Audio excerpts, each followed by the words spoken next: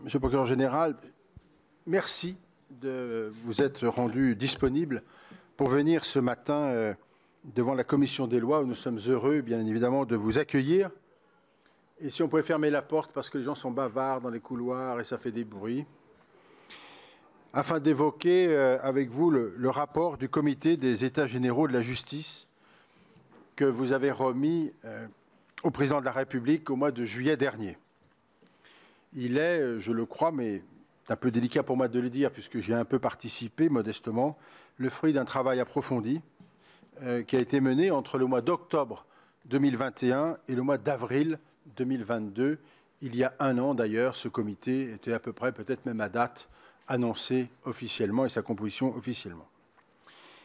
Il faut rappeler d'ailleurs que ce, ces États généraux ont été, euh, certes, à l'initiative du président de la République, mais surtout euh, après une intervention assez forte, je crois, de Madame la Première Présidente, Madame Marin et Monsieur Molins également, auprès du président, venant expliquer la situation critique dans laquelle se trouvait notre justice.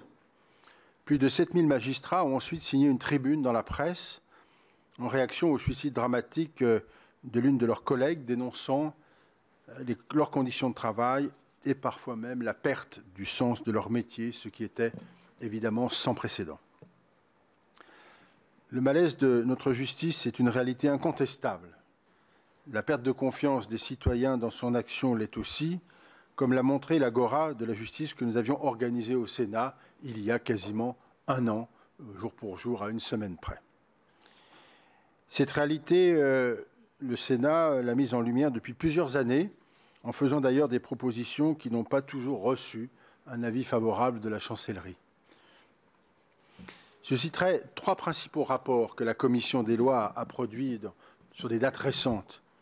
En 2017, d'abord, Cinq ans pour sauver la justice, un rapport assez complet de la commission, à l'époque euh, présidé par notre collègue Philippe Bas. En 2019, la justice prud'homale au milieu du guet, qui a été euh, menée en commun avec la commission des affaires sociales, dont Mme Canaillé, ici présente, en a été euh, le rapporteur. Et puis en 2021, le droit des entreprises en difficulté à l'épreuve de la crise, dont notre collègue François Bonhomme et M. Tani Mohamed furent également euh, les rapporteurs. D'autres travaux sont menés régulièrement, bien évidemment, et en particulier en période budgétaire, après les avis qui sont donnés par nos rapporteurs sur les différentes thématiques euh, liées euh, à la justice. En clair, si je puis me permettre cette expression, la Commission des lois et le Sénat, depuis longtemps, avaient quand même signalé de grandes difficultés et préconisé un certain nombre de solutions. Il est donc très heureux de retrouver de nombreux points de convergence parmi les constats et propositions qui ont été faits par les États généraux. L'étape nouvelle est maintenant de s'attacher à la mise en œuvre de ces propositions, qu'il s'agisse des moyens, de l'organisation et du fonctionnement de la justice ou des réformes législatives. Le Sénat, bien évidemment, y veillera, et nous tout particulièrement. Il, informe également, euh, il importe également que le ministère accepte de changer de méthode en réformant la justice de manière systémique, au service du justiciable et d'un meilleur fonctionnement, en évaluant en amont les conditions pratiques nécessaires à la réussite de ces réformes et sorte d'une approche purement normative. À cet égard, il nous faudrait ne modifier les textes que lorsque cela est strictement nécessaire. Les juridictions sont épuisées par des modifications incessantes des règles, et cela vaut tant pour la loi que pour les textes réglementaires.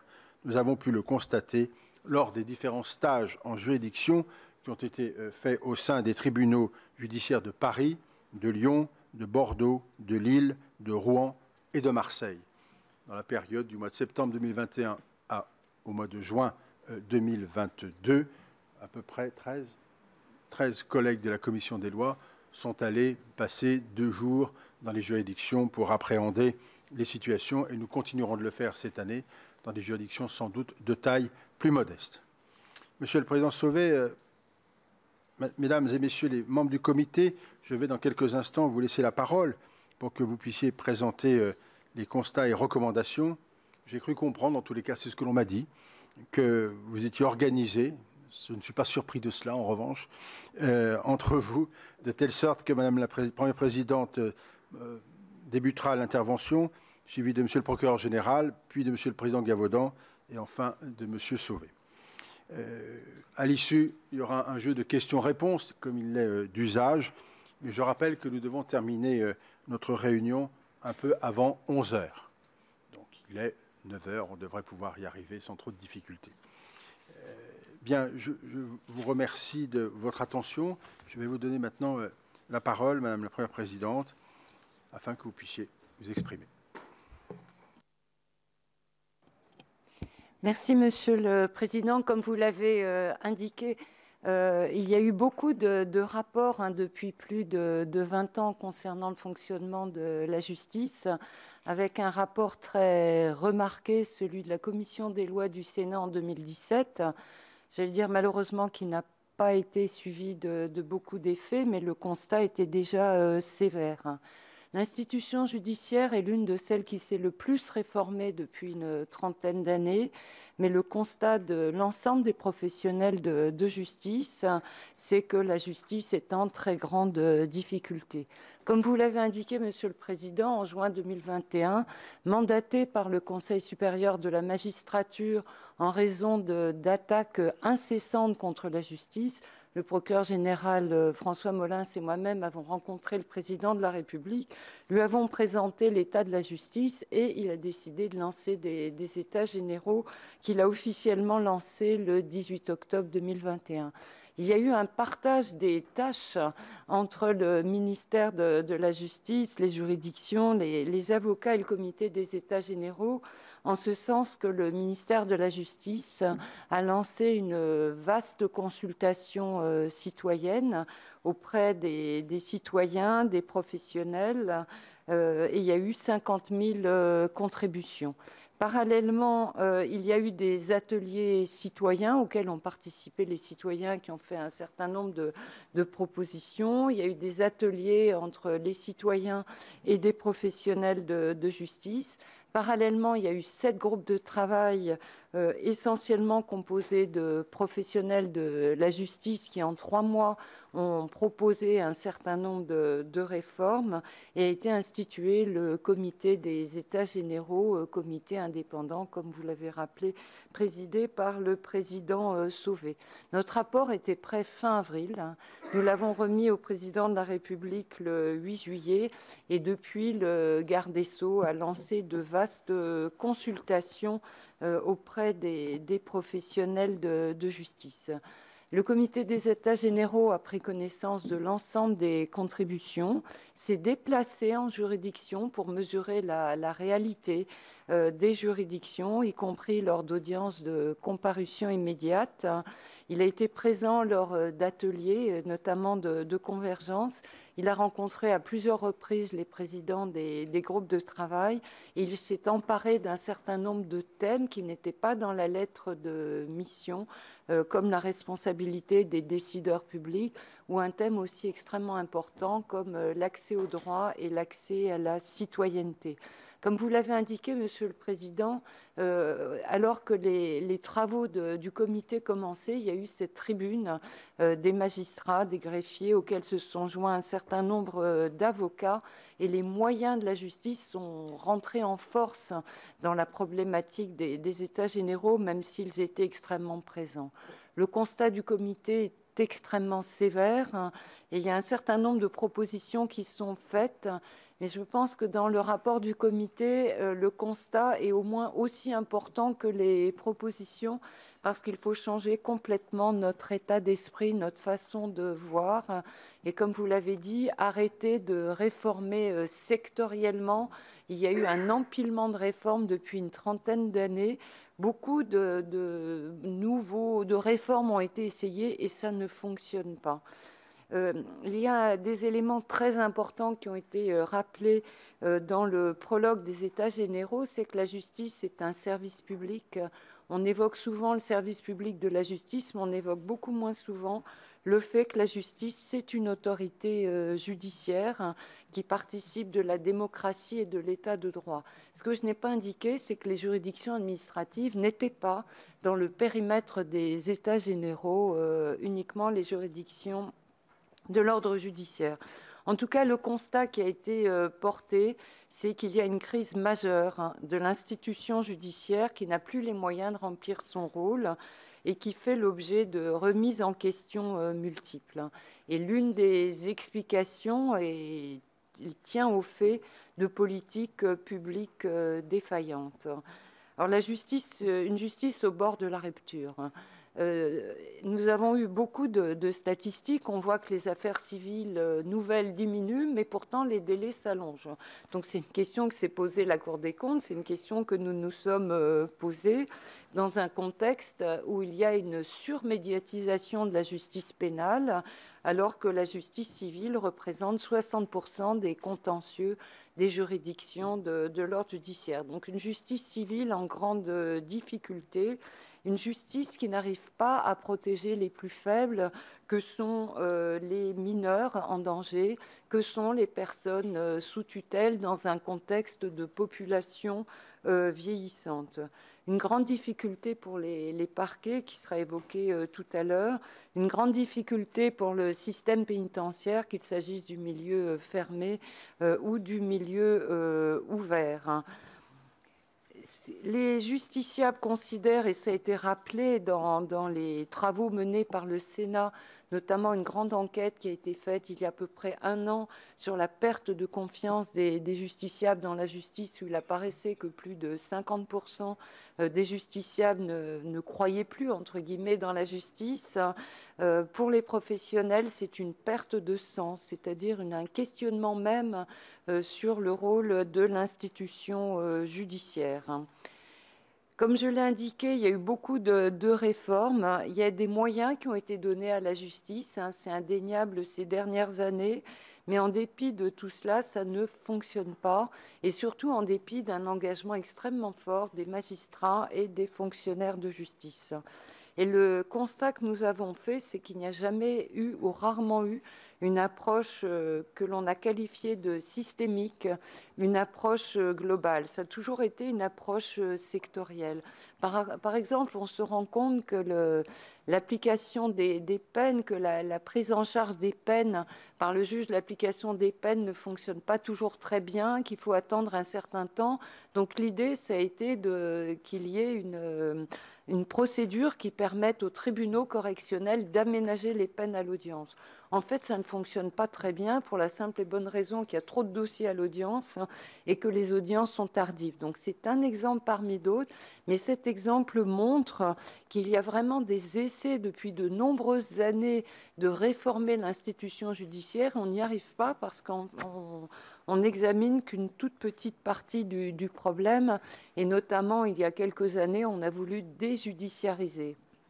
Très rapidement, le comité des États généraux s'est rendu compte que c'était impossible d'aller plus loin dans la déjudiciarisation pour la simple et bonne raison qu'on n'a pas d'outils de pilotage, d'outils statistiques euh, dignes de ce nom qui permettent de savoir si on déjudiciarise par exemple les pensions alimentaires, combien ça représente de dossiers alors qu'on sait que ça représente 25% euh, des dossiers euh, en matière euh, civile. Autre constat que nous avons fait qui est très important, un pilotage administratif et budgétaire déficient un sous-investissement chronique, en particulier en ce qui concerne euh, l'informatique, avec des applications euh, obsolètes et une inflation de, textes.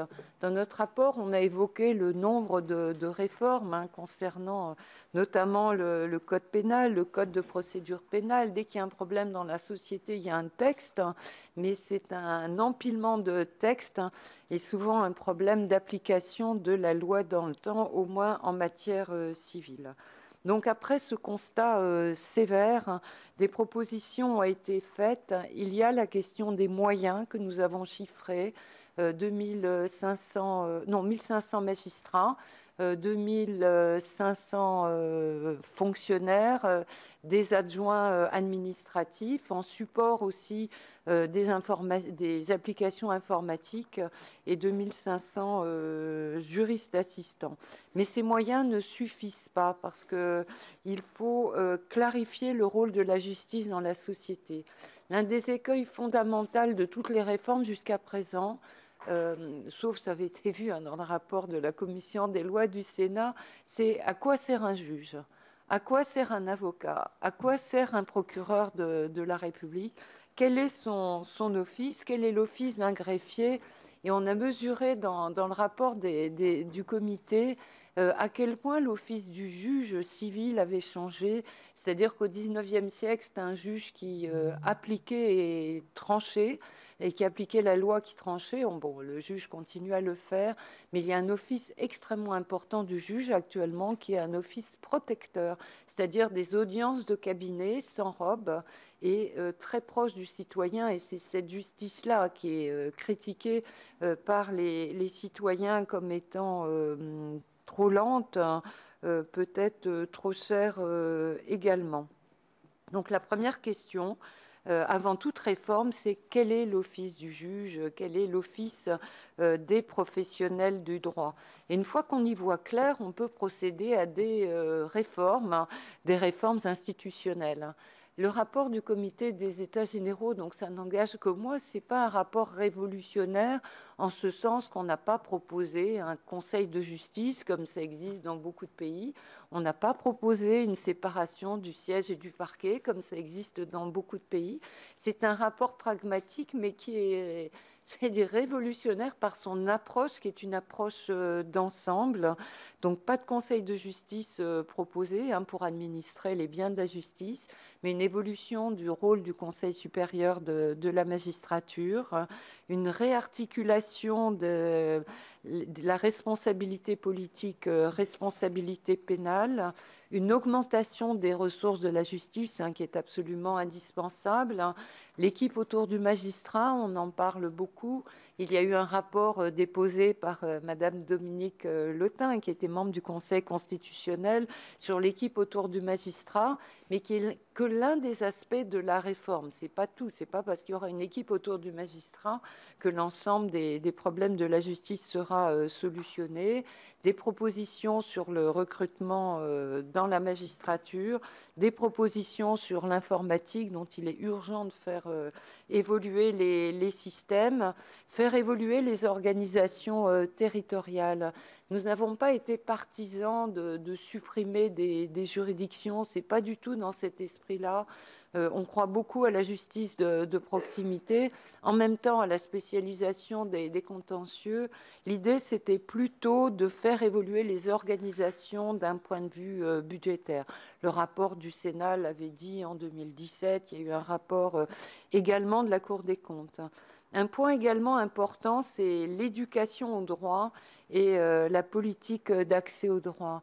Euh, nous avons mesuré à quel point dans les établissements scolaires il y a une euh, éducation à la citoyenneté qui est prévue, mais ce que nous avons mesuré, c'est que dans les faits, euh, pour des raisons conjoncturelles, cette éducation n'est pas forcément très efficiente.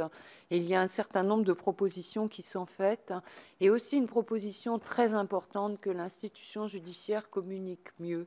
Nous avons la culture de l'obligation de réserve et euh, collectivement, nous communiquons euh, assez mal sur ce que nous euh, faisons.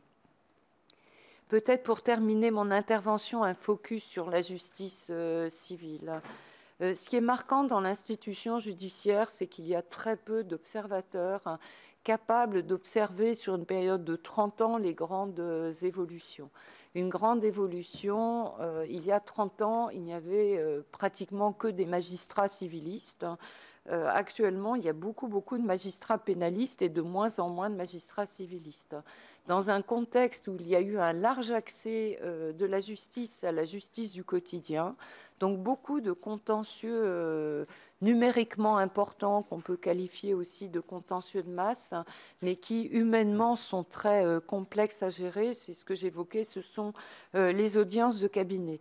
Ce qui fait que l'aspect spécialisation des magistrats pour les matières complexes est de moins en moins euh, important, les magistrats étant très pris par la justice du quotidien, sauf à la Cour d'appel de Paris, essentiellement un peu à Versailles, et sauf à la Cour de cassation. La justice civile dans les juridictions de première instance représente 60% du contentieux, en cours d'appel 75 à 80%, et dans ces 75, et le, dans ces 75 à 80%, le contentieux social en cours d'appel représente la moitié du, contentieux, avec un très fort taux euh, d'appel des euh, conseils des prud'hommes. La justice civile s'est lentement dégradée depuis une quinzaine d'années en raison de multiples euh, facteurs. Il y a eu un excellent rapport de l'inspection générale de la justice, hein, malheureusement qui n'a pas été rendu public, sur l'attractivité des, fonctions civiles, hein, qui expose l'ensemble de, la problématique. Euh, les causes sont multiples, hein, une pénalisation de la société, euh, le fait qu'il y a eu beaucoup, beaucoup de contentieux euh, numériquement important euh, que devaient traiter les juridictions, dans un contexte de sous-dotation importante euh, de la justice. L'ensemble de ces facteurs a eu comme conséquence, il y a 30 ans, pratiquement toutes les audiences étaient collégiales en première instance et actuellement c'est essentiellement du juge unique et compte tenu de la carte judiciaire, il y a beaucoup de petites juridictions, de petites structures où des euh, jeunes magistrats euh, président l'audience civile ou statuent seuls euh, en matière civile. Donc le comité des États généraux a proposé de redonner la priorité à la première instance ce qui n'est plus le cas actuellement, avec un taux d'appel qui peut varier de 14 à 60-70% en matière pénale, qui est une vraie politique publique civile à mettre en place. On parle beaucoup de la politique pénale, mais je ne suis pas sûre qu'un garde des Sceaux ait été entendu par euh, les commissions des lois sur la politique civile menée euh, au ministère de, la Justice. Un, élément également important, développer les modes alternatifs de règlement des, différents. Les modes alternatifs, ça n'est pas un pis-aller pour traiter les, les stocks dans les juridictions. C'est une vraie politique et sortir de cette euh, culture du conflit euh, que nous avons souvent en France et nous n'avons pas cette démarche euh, première de la conciliation et de la médiation. Pour résumer ce, rapport, c'est d'avoir une vision globale quand on réforme, de se poser les questions sur quel est l'office d'un juge, d'un procureur, d'un avocat, de ne plus réformer par secteur hein, et de changer totalement d'état d'esprit. Et si on ne le fait pas, moi, euh, enfin, je, ça n'engage que moi ce que je vais dire, c'est que la crise était déjà importante il y a dix ans et elle ne fait que s'aggraver. Et plus ça continuera, plus la crise s'aggravera si euh, on n'a pas cette euh, idée globale de réforme de l'institution. il y a beaucoup de parties prenantes. Il y a le gouvernement, il y a le Parlement, il y a les professionnels du droit, les citoyens. Et ce qui est très compliqué, c'est que tout le monde ensemble aille dans la même direction. Merci, Madame la Première Présidente. Avant de passer la parole à Monsieur Molins, je voudrais vous indiquer quand même que notre audition est retransmise en direct sur le site Internet du Sénat, pour que chacun le sache, et qu'elle s'inscrit aussi dans la préparation du débat sur la justice que nous aurons qui aura lieu en séance publique le 4 octobre prochain. Donc on est aussi dans cette logique. Monsieur le procureur général. Merci, Monsieur le Président. Je m'inscris euh, sans aucune réserve dans ce que vient de vous dire euh, Madame Arens. Euh, en préambule, je voudrais peut-être souligner d'ailleurs sous votre contrôle, puisque vous en faisiez partie, que l'exercice n'allait pas de soi. Je pense que ça a été un exercice de qualité, un exercice riche, un exercice qui n'allait pas de soi parce qu'il y avait quand même un certain nombre de personnalités très différentes au sein du comité, des hauts fonctionnaires, des magistrats, des personnalités politiques, des avocats, un ambassadeur, des professeurs. Euh, c'était pas évident. Et pour autant, je pense qu'on a toujours assisté à des débats de qualité. Il n'y a jamais eu, contrairement à ce que j'ai pu lire un jour dans un périodique de querelle de chiffonniers, c'est totalement faux. Et la preuve en est que, comme euh, toujours dans ce genre de, travail, il y a des sujets plus ou moins clivants. Euh, tout le monde aura pu noter qu'il y a des sujets qui ont pu faire l'unanimité. Il y a des sujets qui ont donné lieu à des opinions majoritaires, minoritaires. Il n'y a jamais eu, c'est un exemple à mon avis qui est assez fort, d'expression d'opinions dissidentes par rapport à certaines conclusions. Ce qui montre quand même euh, un socle minimal de, consensus sur euh, à la fois la méthode et puis le résultat auquel on est parvenu. Alors je vais vous parler moi très rapidement de, la procédure pénale, qui n'est pas, euh, je dis les choses très franchement, le sujet, j'allais dire, le plus riche en termes de propositions formulées, mais ça s'explique très bien. Je vais essayer de, vous dire pourquoi. Euh, on ne peut, je pense, lire les conclusions du, rapport du comité qu'à la lumière des conclusions du groupe de travail procédure pénale dont il faut dire que, sans vouloir reprendre toutes les propositions qu'il avait pu formuler, il s'était prononcé lui aussi dans sa majorité pour le maintien du jeu d'instruction, avec toutefois une proposition euh, assez innovante qui consistait à créer un nouveau cadre d'enquête à travers une comparution aux fins d'enquête complémentaire qui aurait permis au parquet, en cours d'enquête, de faire déférer la personne devant lui, de lui notifier un certain nombre de charges, de l'interroger, et puis après de poursuivre l'enquête sous le contrôle d'un juge. Il y avait aussi un certain nombre de propositions pour rénover les délais d'instruction, pour parachever le contradictoire, pour améliorer la qualité des investigations. Exemple, passer la durée de la flagrance à 15 jours au lieu de 8 jours. Et puis enfin, euh, nouvelle mesure phare dans euh, l'évolution des pouvoirs conférés au parquet, c'était la création d'une mesure transactionnelle qui aurait permis, avec l'accord de la personne concernée, de, décider de mettre en œuvre des mesures, euh, transactionnelles avec notamment des amendes de composition qui auraient pu donc euh, être mises en œuvre avec l'accord de la, personne poursuivie euh, et, en, cas contraire de, revenir dans les, modes classiques d'orientation des poursuites. le comité s'est donc prononcé par, rapport à tout ça et sans aller dans le, détail de certaines des, mesures qui avaient été proposées par le groupe de travail, euh, a voulu son, proclamer son attachement à un certain nombre de choses. Vous noterez que les polémiques sur la réforme de la police judiciaire n'avaient pas encore commencé lorsqu'on a travaillé. Euh, la première accroche de la procédure pénale dans notre rapport a consisté à marquer l'attachement du comité au respect du principe de la direction de la police judiciaire par les magistrats. Euh, c'est quelque chose qui euh, prend plus d'actualité depuis euh, quelques semaines. C'est effectivement un principe à valeur constitutionnelle, donc c'était peut-être effectivement important de le rappeler. Le, comité a surtout voulu assumer une différence forte par rapport à ce qui avait été dans le groupe de travail, c'est autour de cette notion de simplification. il a pris à son compte le fait que la complexification à laquelle on assiste depuis 20 ans dans la procédure pénale, euh, résulte d'abord euh, et en partie d'un renforcement de la garantie des droits.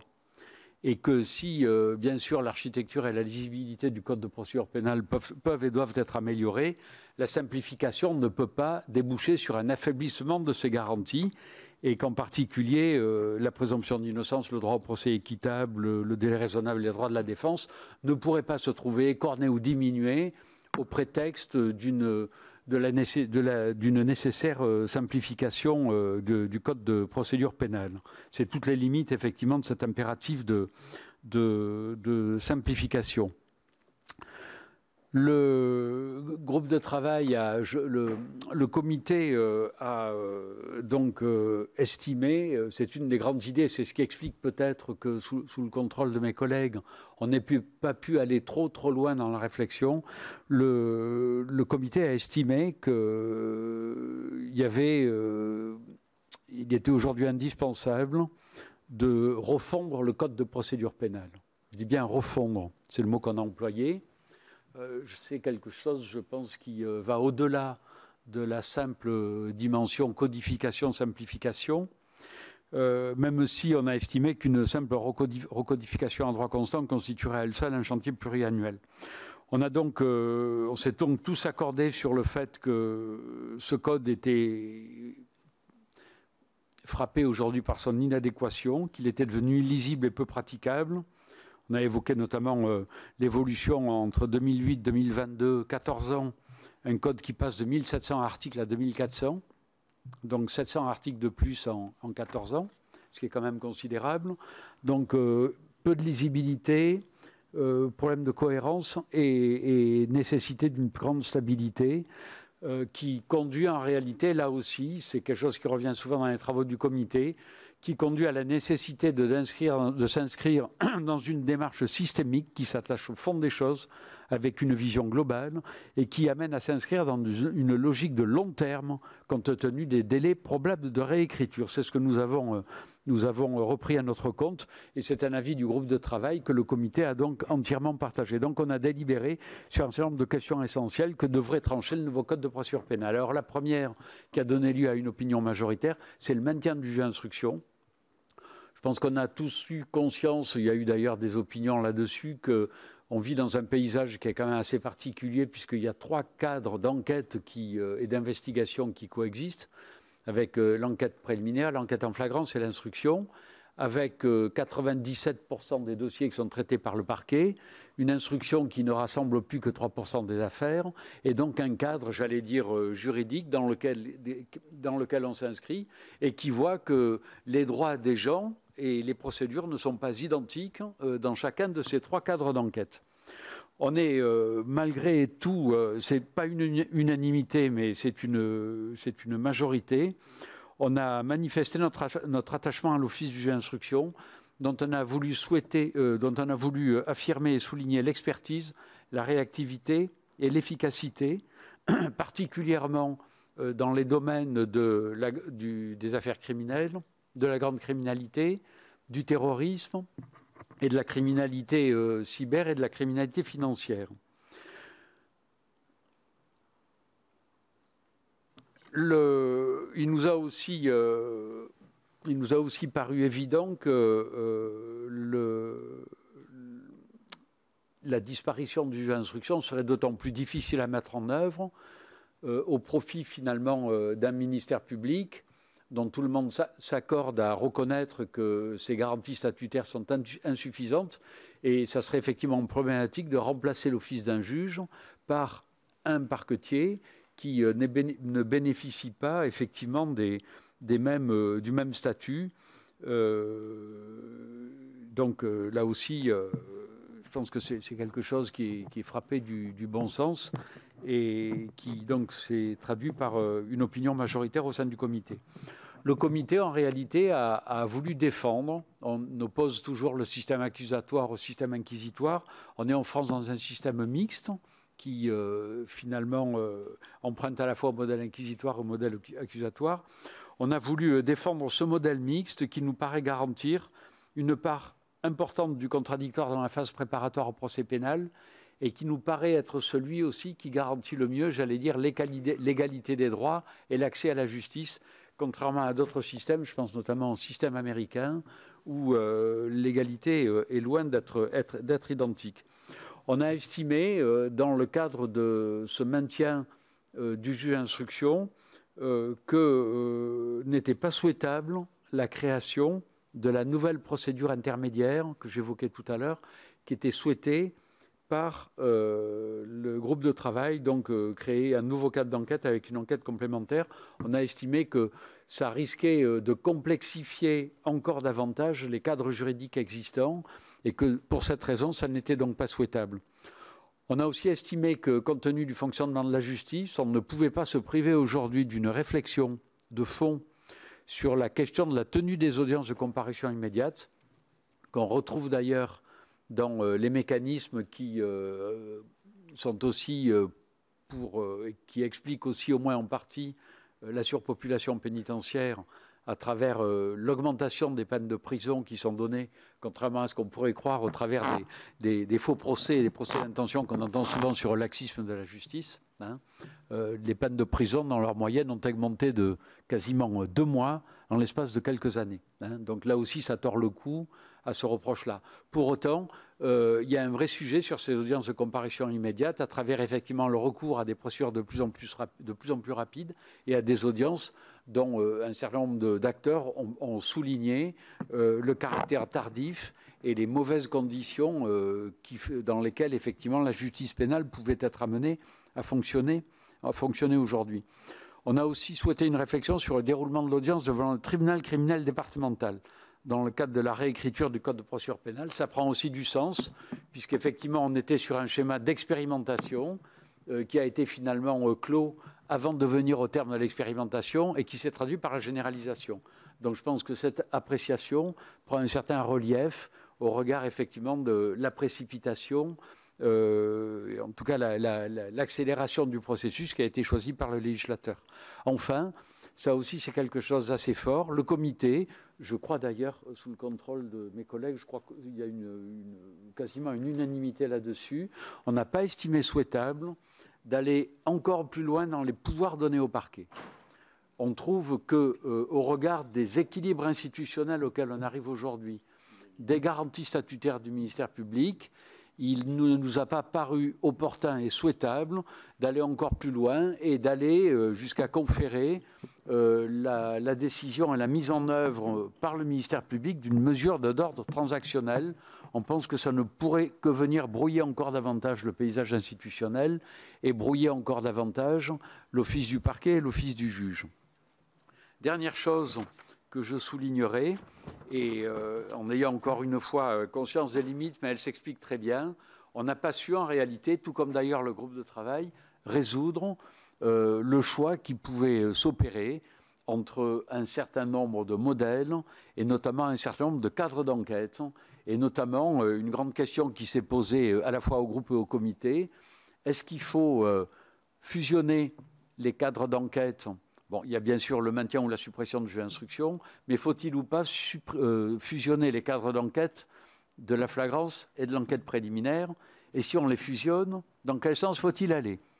Faut-il aller vers la généralisation du cadre de l'enquête préliminaire ou au contraire, ce que souhaitent certains, euh, ou faut-il, au contraire, aller, ce que souhaitent d'autres, comme notamment euh, le directeur général de la police nationale lorsqu'on l'a entendu, fusionner pour que on est un seul cadre qui serait l'enquête de flagrance. On n'a pas euh, pu et souhaité répondre à cette question parce qu'on se rend compte que quand on pousse les feux de la réflexion, on n'a pas en réalité aujourd'hui d'éléments suffisants en termes d'études d'impact sur les conséquences précises et profondes que pourrait euh, comporter le choix d'une solution ou de l'autre. Donc on a estimé, et ça aussi, euh, ce n'est pas pour le comité une façon de se défausser, c'est au contraire, j'allais dire, une preuve du sérieux dans lequel il a, du sérieux de sa réflexion. Le comité a estimé qu'il était absolument aujourd'hui indispensable, avant toute réécriture du code de procédure pénale, d'avoir mis en œuvre par le ministère de la Justice une étude d'impact qui soit extrêmement fouillée et approfondie pour qu'on mesure bien les conséquences de ces choix, parce que les questions paraissent faciles. On s'aperçoit en réalité que le diable se niche véritablement dans les détails et que c'est beaucoup plus complexe que ça en a l'air. Donc ça nous semble effectivement un exercice préalable qui doit venir euh, intervenir avant toute euh, réflexion de fond sur euh, effectivement auquel pourrait conduire une, réécriture. Voilà, je ne suis pas exhaustif dans tout ce que, ce que j'ai dit. j'ai essayé de vous résumer l'ensemble effectivement des, des réflexions sur un plan général du code. Je ne suis pas rentré dans le détail. Il y a aussi, euh, je ne vais pas aborder un certain nombre de choses qui sont dans le groupe de travail procédure pénale, qui sont en réalité, quand on regarde bien, mais ça je pense que la commission des lois le sait beaucoup mieux que moi, on retrouve un certain nombre de mesures que certains acteurs avaient essayé de mettre euh, dans la loi de 2019 et qui sont restés à la porte, effectivement, euh, qui n'ont pas été repris par les parlementaires. Donc je pense qu'il y a des choses que certains ont voulu essayer de remettre dans, le, dans, le, dans la seringue. Hein. Je ne veux pas perdre de temps à revenir sur ces, choses que tout le monde connaît, dont vous avez déjà eu l'occasion de parler. Je vous remercie de votre attention. Merci, Monsieur le Procureur Général. Et la parole à Maître Gavaudan, qui est le président du Conseil national des barreaux. Merci, Monsieur le Président. Mesdames, Messieurs les sénateurs, Mesdames, Messieurs, euh, quelques, éléments simplement sans, rallonger. Là, je souscris à ce qui a été dit par Madame la Première Présidente et Monsieur le Procureur Général. Il n'y a, rien à dire. Je voudrais faire euh, trois observations. La première sur le, contexte et euh, l'état d'esprit qui a été rappelé par Madame la Première Présidente, dans lequel sont, sont, inscrits ces États généraux et le travail effectué par le Comité des États généraux, euh, qui est un comité totalement indépendant, et nous avons tenu à cette indépendance l'état d'esprit qui a, mené nos travaux et qui euh, euh, finalement a, non seulement mené nos travaux, mais c'est celui que nous avons recueilli des personnes que nous avons entendues et même des groupes de travail est assez à contre-courant de ce qui, s'est fait jusqu'à présent dans le cadre des réformes de la justice. Je le souvenir, il n'y a pas si longtemps, euh, pour la réforme qui avait été menée par Mme Belloubet dans cette même salle sur un certain nombre d'auditions auprès de votre commission, à qui je n'apprendrai rien, de ce que nous souffrions d'une vision euh, utilitariste du système judiciaire, déjudiciarisation, euh, conciliation obligatoire par voie de legal tech euh, payante, faisant fi à la fois de la fracture numérique et puis de, de l'incapacité du citoyen à connaître comment on saisit éventuellement une juridiction, voire un médiateur. On craignait les problématiques de carte judiciaire, de suppression de juridiction, qu'on voulait spécialiser de manière départementale, ce qui pouvait euh, faire craindre l'assèchement d'un certain nombre de matières dans certaines juridictions et donc leur dévitalisation totale. Euh, le, juge staccanoviste, euh, l'avocat renvoyé dans ses, dans ses cordes d'auxiliaire de, justice qui doit se plier à une procédure civile de plus en plus compliquée. Bref, nous étions dans l'utilitarisme. Les, les, réflexions, les travaux, à partir d'ailleurs de ce qui a été présenté au président de la République par Madame la Présidente, la Première Présidente et Monsieur le Procureur Général, était tout autre. Un, constat de, quasi-épuisement qui a été admis, qui a été accepté, un manque de moyens. Ce n'est pas, pas, simplement euh, sur ce point que nous avons travaillé, mais il fallait que ce constat soit dressé une détresse des, euh, des, magistrats qui tiennent, et des personnels de grève et greffiers qui tiennent l'institution judiciaire, et en miroir aussi la souffrance euh, qui a été exprimée et qui a pu valablement s'exprimer par les professionnels du droit, et en premier les avocats qui, euh, effectivement, sont eux aussi, potentiellement, les victimes de cette dégradation. L'état d'esprit aussi était intéressant parce que pour la première fois, du côté de la magistrature, je crois que c'est important de, le dire à votre, commission, il y a eu euh, la reconnaissance de cette difficulté. Pas simplement des juges euh, de terrain, pardon, mais, mais, aussi des chefs de juridiction qui connaissent bien le terrain, c'est pas ce que je veux dire, euh, qui ont admis effectivement qu'au bout d'un moment, on n'arrivait plus à, on n'arrivait plus à tenir et qu'il fallait euh, un peu de souplesse, un peu de liberté, un peu de moyens, un peu de, possibilités de réorganiser, euh, de réorganiser les choses. Ça a été admis et je crois que c'est un point très important. Et puis aussi la, conviction que euh, tout cela se fait non pas pour l'institution judiciaire, non pas pour l'autorité judiciaire. On a beaucoup les uns et les autres insisté sur le fait qu'il s'agissait bien d'une autorité et qui, si elle est malmenée, euh, a des impacts sur euh, la respiration de la démocratie. vous l'avez rappelé, Madame la Première Présidente, mais c'est un point important. Une justice malmenée, c'est une justice qui n'est plus indépendante, un juge qui ne peut pas trancher parce qu'il n'a pas les moyens, en matière civile comme en matière pénale, c'est une justice qui n'a plus d'indépendance. Tout, ça a été, euh, tout ça a été évoqué et c'était important parce que le cœur de notre préoccupation, c'est la fin de mon premier point, c'était, comme ça l'est pour vous, je pense, le justiciable. Et les présentations qui sont faites sont assez techniques parce que nous sommes finalement des techniciens. Mais ce qui a mené nos débats, essentiellement, c'est vraiment le citoyen et la République. Sur la, sur la, cet état d'esprit a permis de libérer un certain nombre de, sujets.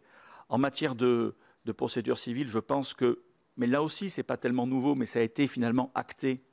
Il faut s'intéresser à la justice civile, il faut lui donner les moyens, il faut s'intéresser aux juges. Il faut avoir, on a beaucoup travaillé sur ces questions-là d'aspect sociologique, c'est-à-dire quels sont les profils des magistrats qui sortent de l'école nationale de la magistrature, quels sont les profils des magistrats qui vont être intégrés dans la magistrature. Les jeunes euh, sont-ils encore en capacité ou ont-ils le souhait ou l'énergie de travailler et de tenir des audiences correctionnelles jusqu'à 23 heures? Tout ça, ce sont des éléments qui ont été actés, entendus et sur lesquels on a, nous, avons, euh, euh, nous avons avancé. Réforme de la procédure civile éventuellement. Réforme de la procédure d'appel qui peut se faire par voie réglementaire, nous l'avons évoqué. Il y a eu consensus aussi sur ces questions-là, non pas pour libérer la possibilité des avocats de multiplier les actes de procédure, mais parce que effectivement, on s'aperçoit que les choses trappes procédurales ne permettent pas de gagner du temps ou d'avancer. Repositionner le magistrat, redonner de la valeur au juge de première instance, toutes choses qui méritaient d'être dites. Et puis aussi, en tout cas pour la profession d'avocat, rappeler que pour nous, l'office du juge est très important et qu'il y a avoir des réflexions sur l'office du juge, mais que nous préférons toujours que ce soit le juge qui, au total, décide, pas simplement tranche le litige, mais aussi soit le maître de l'organisation judiciaire. Et je crois que c'était très important parce que c'était très nouveau. Vous avez évoqué, Madame la Première Présidente, la, question des modes alternatifs de règlement des différends ou des litiges. C'est vrai que on a admis que ce n'était pas la, panacée et que les modes de règlement des différends ne sont pas là pour éviter la saisine du juge, ils sont là pour accompagner le justiciable. Et d'ailleurs, euh, nous, essayons dans la profession d'avocat de désormais éviter le terme qui va encore changer de mode alternatif de règlement des différends pour dire des modes de règlement des différends. Il faut que nous changions nous-mêmes nos pratiques, notre vision des choses. Ce n'est pas alternatif, c'est à côté de la, saisine, de la saisine du juge. Sur la procédure pénale, je, n'en rajoute pas. Ce qui était très important aussi dans nos débats, et c'est important de le dire ici dans cette commission des lois très attachée aux libertés publiques et individuelles, il n'a jamais été question, et pour nous ça a été très important, dans nos débats sur le juge d'instruction, dans nos débats sur, la, procédure, sur l'enquête, dans nos débats sur une éventuelle réforme du code de procédure pénale, dans nos débats sur euh, les traitements, euh, euh, notamment des matières correctionnelles, ce qui était très important, c'était le citoyen, le présumé innocent, les droits de la défense, et sous l'autorité judiciaire, et pas, par exemple, sous une autorité administrative. Nous avons Aujourd'hui, peut-être nous le dirions différemment, mais nous avons aussi évoqué la place du parquet, mais aussi la place de la police administrative. Et je confirme ce que vient de dire le procureur général, nous ne l'avions pas exprimé, nous l'aurions exprimé différemment, mais en tout cas, nous sommes tous très attachés, c'est un consensus, à ce que la police judiciaire soit effectivement rattachée aux magistrats, parce que ce sont eux qui sont d'abord et avant tout les garants des libertés individuelles. Merci, euh, Monsieur le Président. Avant de donner la parole au, président Sauvet, euh, je voudrais quand même rappeler, pour avoir en tête un chiffre qui date de 2019, la justice civile, c'est plus de 2 200 000 décisions pour l'année 2019. La justice pénale, c'est un peu plus de 800 000. Pour, pour, distinguer, pour bien peser les choses. Et l'opinion publique se forme sur la justice pénale. Mais c'est important, mais ce n'est pas l'essentiel. Monsieur le Président Sauvé, vous avez la parole. Je voudrais d'abord euh, souligner que je suis complètement d'accord avec mes collègues qui se sont exprimés auparavant et qui ne se sont pas exprimés à titre personnel, mais qui ont bien rendu compte du rapport. Je me contenterai, pour éviter des redites, euh, de quelques notations. Euh, d'abord, sur la crise de la justice. il faut bien voir que nous sommes dans notre pays confrontés à une double crise une crise universelle et une crise nationale. La crise universelle, c'est la crise de l'autorité judiciaire, de ce, pouvoir public constitutionnel qui est inséparable de la démocratie et de l'état de droit. Tout ceci est lié au rôle croissant du juge dans nos sociétés. Le juge appliquait la loi disons, euh, jusqu'au milieu du XIXe siècle. Il est devenu l'interprète de la loi. Désormais, il est juge de la loi, notamment au travers du contrôle de conventionnalité.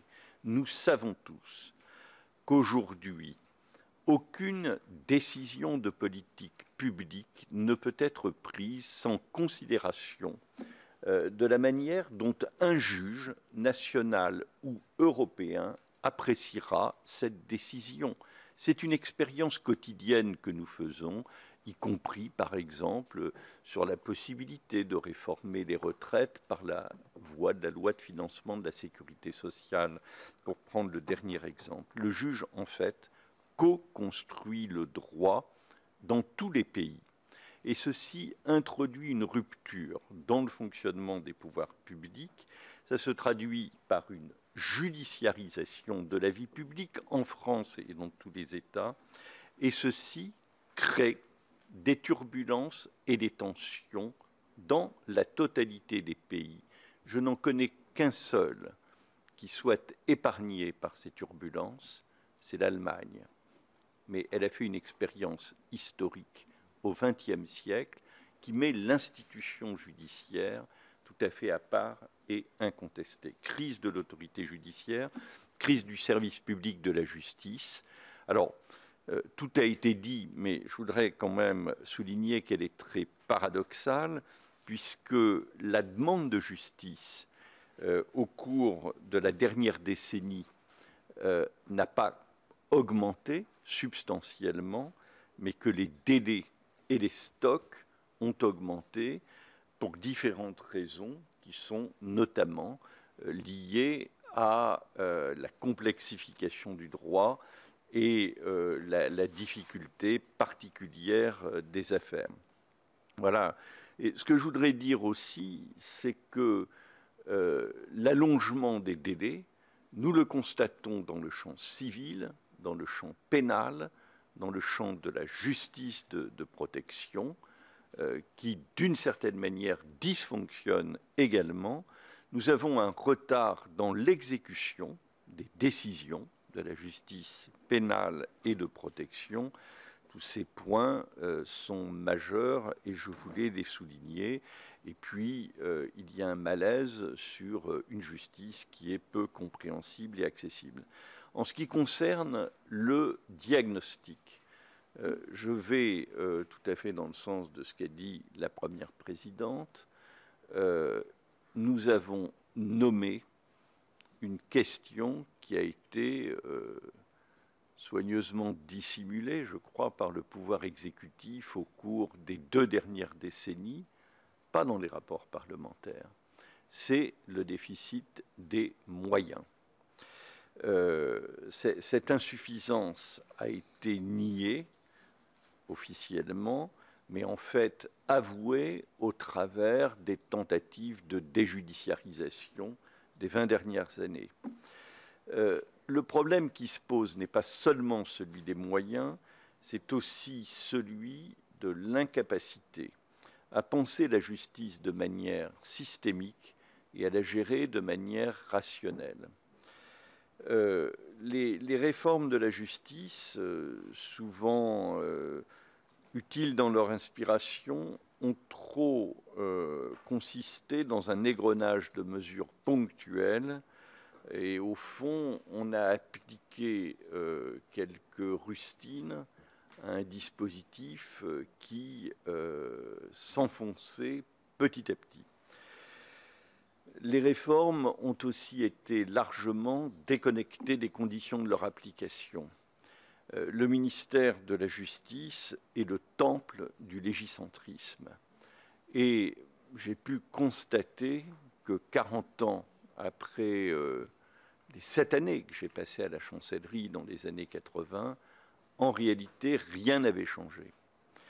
Euh, il y a également sur le plan de la gestion de la justice des problèmes, des problèmes majeurs. Je parle bien sûr d'une organisation déconcentrée qui n'est pas lisible, qui n'est pas compréhensible, mais aussi de l'insuffisance du management. Il n'y a pas de pilotage cohérent de l'institution, il n'y a pas de gestion des ressources humaines digne de ce nom. Et euh, il faut porter remède à cette situation. Quant à la réforme euh, qui est proposée par le comité, quant aux réformes qui sont proposées par le comité, euh, il faut être au clair sur le positionnement de la justice dans la société et par rapport aux autres pouvoirs publics. Comme l'a dit euh, auparavant la première présidente, nous ne proposons pas de conseil de justice, ni de séparation entre le siège et le parquet. Euh, nous ne proposons pas non plus de remettre en cause le principe de la gestion administrative et financière de la justice par le gouvernement sous le contrôle du Parlement. Mais il y a des réformes importantes à mener, euh, notamment sur le statut du parquet. Cette réforme qui a été envisagée et même préparée en 2000 moi, j'ai soumis au président de la République un décret de convocation du Congrès et j'ai dû quelques semaines euh, ensuite soumettre un deuxième décret de démontage du Congrès. C'est la seule fois dans l'histoire de la République euh, qu'un tel acte a été pris. Voilà, nous proposons aussi de revoir un certain nombre euh, d'équilibres au sein du CSM et en particulier de la commission d'avancement il faut aussi, c'est un sujet euh, un peu périphérique mais très sensible, revoir la responsabilité pénale des décideurs publics, en particulier des membres du gouvernement.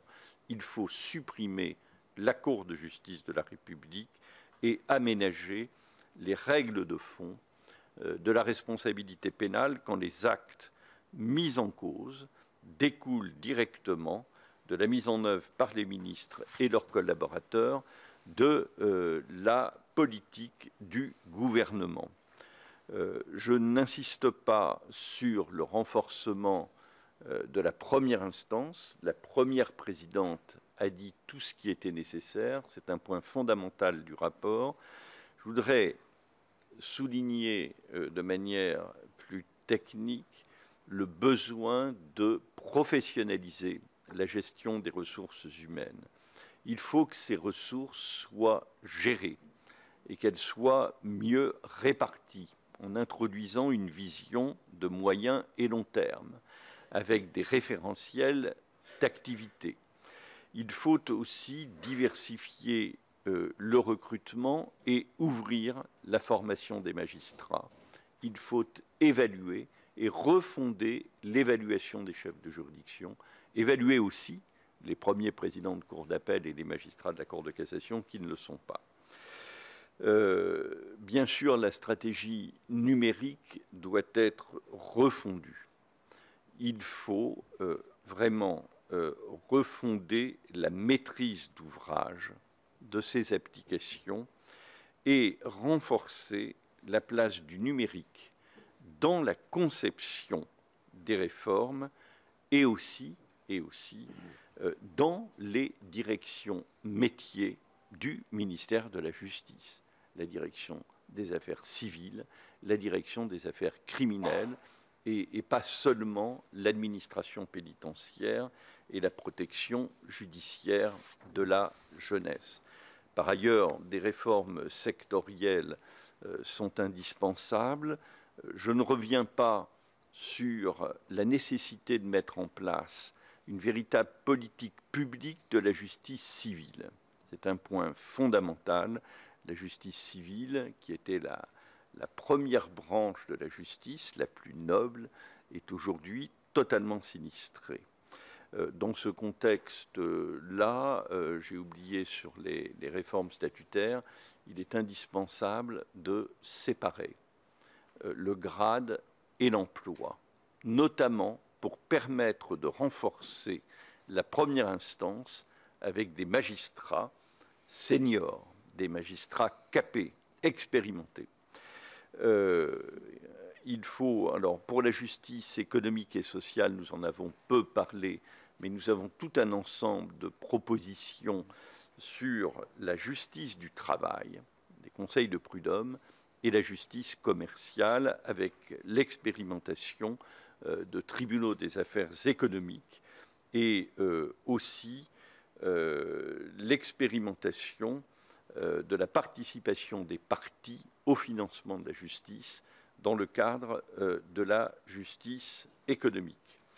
Voilà, sur la procédure pénale, le procureur général euh, a euh, tout dit et, je ne saurais mieux m'exprimer euh, que lui. Je voudrais, sur les questions pénitentiaires, rappeler que nous avons pris position, peut-être on jugera notre rapport banal, sur le sens de la peine. C'est un point qui nous est apparu important.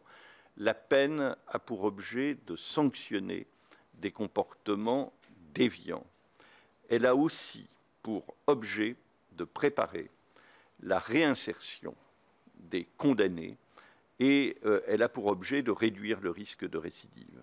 Dans ce contexte, euh, nous ne proposons pas d'enchaîner les programmes de construction d'établissements pénitentiaires au-delà de ceux qui ont été décidés et qui sont en cours. Nous proposons de limiter euh, de manière volontariste le recours aux courtes peines, de renforcer substantiellement les moyens du milieu ouvert. On évoque la possibilité de créer une agence du milieu ouvert. Nous proposons également, pour mieux articuler le prononcé des peines et leur exécution, de faire revenir les services pénitentiaires d'insertion et de probation dans les juridictions pour personnaliser les peines et permettre leur aménagement effectif ab initio. Et enfin, nous proposons, pour éviter des condamnations à répétition pour traitement inhumain et dégradant, de mettre en place un dispositif de régulation de la population carcérale qui euh, ne soit pas un numerus clausus pur et simple. Voilà quelques-unes des perspectives que nous mettons sur la table. Merci, Monsieur le Président. Euh, merci à chacun et chacune, des, à vous, Madame la Présidente, et, à vous, Messieurs, des propos tenus. On va ouvrir le débat et, je propose de donner la parole à Madame Dominique Verrien, qui est co-rapporteur d'ailleurs avec Madame Canaillé du budget de la justice. Merci beaucoup, Monsieur le Président. Euh, merci euh, à vous quatre de cette présentation à la fois synthétique mais quasi exhaustive de, votre rapport. Euh, qui était effectivement très intéressant et qui reprend un certain nombre de choses, comme vous l'avez dit, que, que, nous connaissions, mais il est important que justement ces choses soient euh, dites et remises euh, au président de la République et à son garde des Sceaux. J'ai plusieurs questions. Alors, je ne reviendrai pas sur l'informatique. C'est un des sujets pour lesquels nous interpellons la chancellerie depuis, euh, depuis longtemps. Je réserve ma question pour le débat que nous aurons euh, sur euh, les états généraux de la justice dans notre hémicycle. Mais d'abord, je voulais savoir comment avait été reçu votre rapport, justement, et si des engagements avaient été pris euh, de prendre en charge euh, réellement euh, vos préconisations. Ensuite, alors un sujet qui pourrait paraître un détail pour vous, mais qui pour nous dans Lyon veut dire beaucoup, vous l'aurez compris, la carte judiciaire. Avez-vous rencontré les magistrats et les avocats justement de, de, Lyon par rapport à cette carte, puisque si j'ai bien lu le rapport, nous serions rattachés à Dijon Enfin, ça fait longtemps qu'on en parle, ça fait longtemps qu'on lutte contre ce rattachement. Mais donc voilà, avez-vous euh, entendu magistrats et avocats du, département pour cela? Euh, vous parlez également de réforme de justice civile et de plus euh, de collégialité. Je pense que c'est effectivement une, très bonne chose. Est-ce que dans cette collégialité est envisagé le fait de mieux faire travailler ensemble juge aux affaires familiales et juge des enfants, qui parfois peuvent mettre quatre mois pour se passer un dossier alors qu'on sait bien que justement euh, au niveau d'un divorce conflictuel, les enfants ne sont pas, euh, sont des victimes très claires de ce qui peut se passer. Et d'ailleurs, à propos de victimes de violences intrafamiliales, puisque si on parle de choses qui se passent mal dans le couple, je n'ai pas du tout vu euh, une réflexion sur ce sujet. Alors probablement n'était-elle pas dans vos lettres de mission, alors que pourtant j'ai cru comprendre que ça faisait partie euh, d'une grande cause euh, du quinquennat passé et du quinquennat euh, actuel. Et pour finir, puisqu'il faut plus de moyens, avez-vous réfléchi à introduire du coup plus de, mixité dans la magistrature et quels moyens pour obtenir plus de mixité dans la magistrature? Merci. Merci, Madame Verrien. Monsieur Jean-Pierre Sueur, je propose de prendre ensuite Madame Benbassa et puis, M. Marc-Philippe Daubresse, on donnera à nos, invités euh, euh, la parole. Puis on recommencera avec Mme Haribet, Mme Canaillé, M. Bonnecarrère et M. Lecomte. Merci, M. Richard qui sera. Monsieur Sueur. Merci, Monsieur le Président. Monsieur le Président, euh, Madame la Première Présidente, Monsieur le Procureur Général et Monsieur le Président, merci pour ce rapport qui est très intéressant euh, c'est vrai que vous avez dit, Madame la Première Présidente, que c'était révolutionnaire que de ne pas empiler les réformes, euh, que de ne pas être sectoriel, et euh, qu'il était aussi tout à fait révolutionnaire qu'il n'y ait pas 700 amendements, 700 articles de plus dans les quatre ou cinq prochaines années, ce qui est en quelque sorte un conseil qui nous est amicalement donné. je voulais poser quelques questions concrètes. D'abord, la première réaction qui a eu lieu à la suite de la publication de votre rapport, c'était la question des moyens. Vous l'avez dit. Euh, le garde des Sceaux, naturellement, fera valoir qu'il y a 8% d'augmentation depuis trois ans. Euh, nous savons que ce n'est pas suffisant et que la France reste dans les dernières places au plan européen comme au plan de l'OCDE par rapport au PIB pour les budgets attribués à la justice. Est-ce que vous avez envisagé euh, des euh, solutions En particulier, ne serait-il pas raisonnable, même si c'est contraire au principe de l'annualité budgétaire, qu'il y ait une sorte de programmation sur une dizaine d'années pour rattraper le retard avec une sorte d'injonction qui s'appliquerait à tous les gouvernements? C'est sans doute un rêve, mais je me permets de l'exprimer. Deuxièmement, pour ce qui est de la répartition des magistrat entre le civil et le pénal. J'entends bien ce que vous avez dit. Quelles solutions concrètes envisagez-vous pour qu'il y ait davantage de magistrats civilistes? Est-ce que vous imaginez des systèmes qui affecteraient des postes, euh, qui feraient qu'il y aurait une politique volontariste dans ce domaine? Troisièmement, euh, vous avez dit, monsieur le procureur général, que euh, la réforme du tribunal départemental criminel avait été faite dans une certaine précipitation. C'est vrai qu'on n'a pas attendu la fin de l'expérimentation pour généraliser ce système. Euh, quel avenir euh, voyez-vous à ce dispositif? Êtes-vous toujours partisan? Je crois l'avoir lu dans le rapport du jury populaire, ce en quoi vous rejoindriez, Monsieur le garde des Sceaux, à l'époque où il n'était pas garde des sceaux. Euh, un autre point, sur la surpopulation pénitentiaire que vous venez de parler, que vous venez d'évoquer, vous avez parlé d'une régulation. Euh, quid? Euh, Comment ça se passe concrètement la régulation? Et sans abuser, j'avais une dernière question. Dans mon département, il y a une maison de la justice et du droit qui traite à peu près 2000 euh, personnes qui viennent par an, avec des vidéos des, des visios euh, qui vont dans tous les chefs-lieux de canton. C'est géré par une greffière qui est absolument épuisée par l'ampleur du travail. Pensez-vous qu'il y a un avenir pour ce genre de structure? Je vous remercie. Merci, Monsieur Sueur. Madame Esther Benbassa. Merci, Monsieur le Président. Euh, je remercie euh, les intervenants pour leur euh, intervention synthétique et claire. Et je voudrais toutefois poser quelques questions.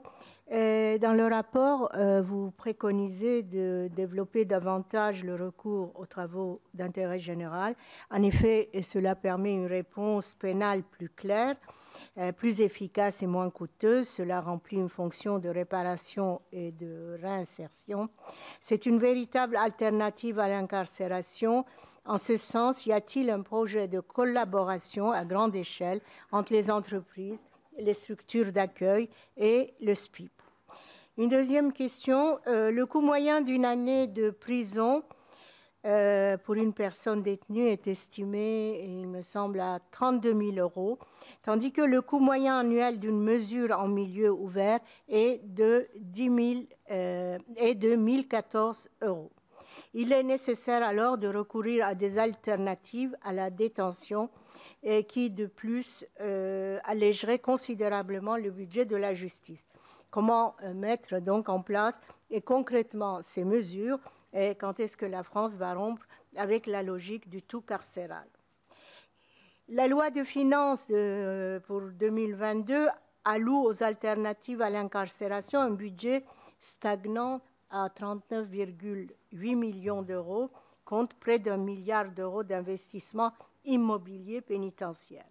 Ne trouvez-vous pas qu'il y a un manque d'ambition ou du moins une répartition inégale du budget de la justice. Je vous remercie. Merci, Madame Nbassa. Et puis, pour terminer cette première série de questions, Monsieur Marc-Philippe Daubresse. Merci, Monsieur le Président. Oui, euh, j'ai une question générale de méthode et une question plus ciblée, peut-être pour le procureur général Molins, qui concerne la, procédure pénale. La première de méthode, c'est de. Vous avez tous parlé de réforme systémique c'est de constater qu'il euh, y a une réforme systémique euh, à l'étude pour la justice, mais qu'il y a en même temps euh, pour reprendre l'expression présidentielle, euh, une réforme systémique de, l'intérieur et de la police qui se produit. Il y a une LOPMI qui est en train d'être présentée. Cette LOPMI euh, devrait faire passer, devrait augmenter de 25% en 5 ans les moyens du ministère de l'Intérieur. Et évidemment, vous y avez fait incidemment allusion, évidemment que dans cette LOPMI, il y a des choses qui concernent directement la justice et en particulier la procédure pénale, puisqu'il y a une réforme de la police judiciaire, une réforme générale de la police nationale, la création d'assistants d'enquête, euh, une modification du statut des, OPJ. Bref, euh, euh, ma question de méthode est la suivante. Est-ce que vous ne pensez pas qu'il serait utile, elle s'adresse peut-être à M. Sauvé, que, le comité généraux des, États généraux de la justice rencontre un comité d'orientation euh, du Beauvau de la sécurité pour essayer de faire une réforme systémique ensemble. Enfin, c'est une question naïve que je pose. La deuxième question euh, est, plus ciblée sur Monsieur le procureur général Molas, qui euh, il ne vous a pas échappé qu'au mois de juillet de cette année, il y a une jurisprudence de la Cour de cassation qui casse finalement toutes les problématiques qui étaient liées à la possibilité pour les procureurs d'aller chercher par exemple des, fadettes en saisissant des opérateurs téléphoniques sur toute une série d'infractions et de remonter des filières euh, de délinquance et que la législation européenne qui s'impose à la France euh, finalement restreint cette possibilité uniquement à des crimes euh, importants, ce qui fait que les procureurs ont attiré à plusieurs reprises la conférence des procureurs notre attention sur le fait qu'ils allaient être privés de moyens très importants euh, en termes d'efficacité. On l'avait vu avec euh, ma collègue Agnès Canaillé dans une, législation précédente.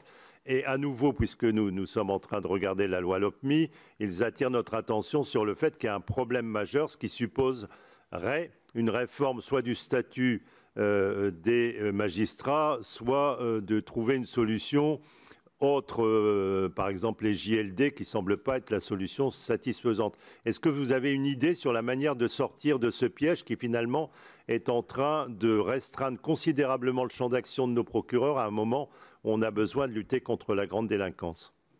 Merci, Monsieur Lebresse. Monsieur le Président, je vous laisse le soin de répartir éventuellement la parole. Merci, Monsieur le, Président. Euh, pour les, questions de Madame Beria, la mise en œuvre du rapport du Comité des États généraux incombe au gouvernement sous le contrôle du Parlement. Euh, oui. La, mise en œuvre, du rapport du Comité des États généraux incombe euh, au gouvernement, au garde des sceaux, euh, sous le contrôle du Parlement. Euh, si vous voulez, euh, le, comité des États généraux euh, ne va pas usurper des pouvoirs qui ne lui appartiennent pas. Et, maintenant, enfin, notre mission s'est terminée le, 8 juillet, lorsque nous présentons le rapport. Et en réalité, elle s'est terminée le 30 avril, lorsque nous avons achevé la rédaction de ce document. En ce qui concerne la carte judiciaire, je ne répondrai pas précisément à la question qui a été posée sur le rattachement des juridictions du département de Lyon à la Cour d'appel de Dijon ou à la Cour d'appel de Bourges. Mais j'ai compris euh, que euh, notre rapport avait été compris. Je voudrais dire fondamentalement que nous ne proposons pas de fusion autoritaire de juridictions, ni en première instance ni en appel. Et c'est ça, euh, je dirais, la, dimension euh, fondamentale de notre rapport. Nous ne considérons pas euh, que le salut de la justice puisse résulter d'une apparente rationalisation de, la carte. En ce qui concerne les rapports entre le juge aux affaires familiales et le juge des enfants, nous sommes extrêmement conscients de la nécessité euh, de surmonter euh, des, obstacles incompréhensibles à la communication. Ça tient à la surcharge des magistrats, à la surcharge des greffes et à l'incommunicabilité entre les systèmes d'information. Hein. Euh, quand on sait d'ailleurs aussi que ne communiquent pas le système enfin, du, du bureau d'ordre pénal d'une part et le système de l'application des peines d'autre part, on se rend compte que la gestion de la justice est aujourd'hui une tâche quasiment impossible si on n'a pas une multitude de petites fiches cartonnées à droite et à gauche qu'on arrive plus ou moins à classer dans son bureau. En ce qui concerne les moyens, et notamment les moyens humains, je n'ai pas bien compris la question de la mixité. Je pense que euh, la question de la mixité ne se pose pas dans l'institution judiciaire. Euh, enfin, elle, se pose peut-être de, manière, de manière inversée, mais le comité ne recommande pas de numerus clausus euh, pour garantir euh, je dirais, l'entrée dans la magistrature d'hommes euh, qui seraient moins qualifiés et moins méritants que les femmes. Voilà. Donc il faut certainement qu'il y ait un équilibre, mais euh, qu'on tienne compte d'abord du mérite. Oui, Monsieur le Président, je ne suis pas certain que c'était que la mixité, la mixité euh, euh, homme-femme, c'était une mixité sociale. À, cet égard, il y a une proposition d'intégration, et ça en a été très favorable, je le dis pour la, pour la profession d'avocat, c'est qu'effectivement, déjà, il y a déjà une forme de mixité, c'est-à-dire qu'on s'aperçoit que un, taux important de magistrats compose la magistrature sans avoir été, euh, sans, avoir, euh, sans être passé par euh, l'école nationale de magistrature, la moitié, me dit Madame Arins. Et puis, il y a des, propositions qui sont faites, d'ailleurs, on, on, en parle avec le garde des Sceaux pour fluidifier effectivement, la, notamment avec la profession d'avocat, l'intégration. Pour répondre à, Madame la sénatrice, j'ai le sentiment quand même qu'au niveau du recrutement, en tout cas à l'école de la magistrature, la mixité sociale, si c'est de ça dont vous vouliez parler, euh, par exemple, est, semble-t-il, est semble-t-il assurée, euh, comme elle l'est dans toutes les professions du droit. Et, des profils aussi, puisque je viens d'indiquer, il y a d'autres professionnels du droit qui intègrent la, magistrature tout au long de la, au long de la, euh, de, de, la vie des, palais de justice.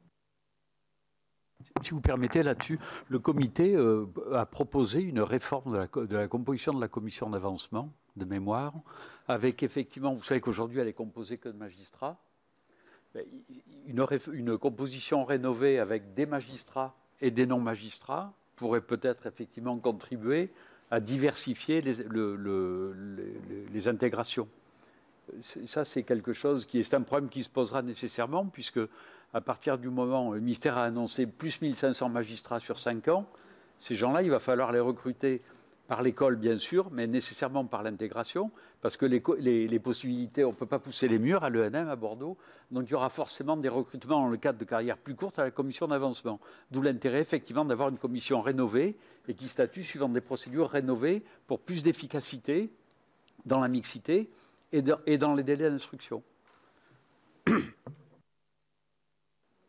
Merci. J'en viens aux questions euh, de président Sueur. En ce qui concerne les moyens additionnels dont la justice doit être dotée, euh, le comité, euh, de manière tout à fait consciente et délibérée, s'est inscrit dans une perspective quinquennale et non pas décennale. Avec les renforts que nous proposons, nous estimons qu'il est possible de doter la justice de, ces renforts dans un délai de cinq ans. C'est extrêmement ambitieux à tous les étages, y compris à celui euh, des procédures de recrutement, la commission d'avancement, l'école de la magistrature, mais il nous semble important que l'effort indispensable qui doit être fait pour la justice puisse être réalisé dans un délai de cinq ans. En ce qui concerne euh, les solutions pour avoir plus de magistrats civilistes, il faut, alors là, qu'on s'inscrive dans une gestion prévisionnelle des effectifs, que l'institution définisse ce que sont ses besoins à moyen terme et que euh, ensuite, euh, effectivement, les carrières soient gérées dans cette perspective. Nous ne pouvons pas là, je vais un peu au-delà du rapport et je m'aventure euh, et je m'expose euh, aux objections de mes collègues, mais nous ne pouvons pas avoir une gestion qui est uniquement statutaire de la magistrature. Il faut tenir compte des compétences. Et il me semble qu'aujourd'hui, les jeunes, que ce soit dans l'administration ou euh, dans la justice, aspirent précisément à s'inscrire dans des parcours euh, de carrière qui soient définis à l'avance, qui soient un peu prévus. Il faut qu'il y ait de la mobilité, il faut qu'il y ait de l'adaptation, bien sûr, mais je pense que ce, ce dispositif-là est à notre portée. Il vaut d'ailleurs pour la justice civile stricto sensu comme pour la justice économique. C'est un point euh, dont nous n'avons pas parlé dans nos exposés liminaires, mais dont nous avons délibéré entre nous et qu'on retrouve dans le rapport. Il faut créer, euh, dès le début de la carrière, une filière de magistrats qui soit compétent en matière économique, de telle sorte que les décisions de la justice ne puissent pas être critiquées ou disqualifiées sur le thème, mais ces personnes-là ne connaissent pas ce type de sujet.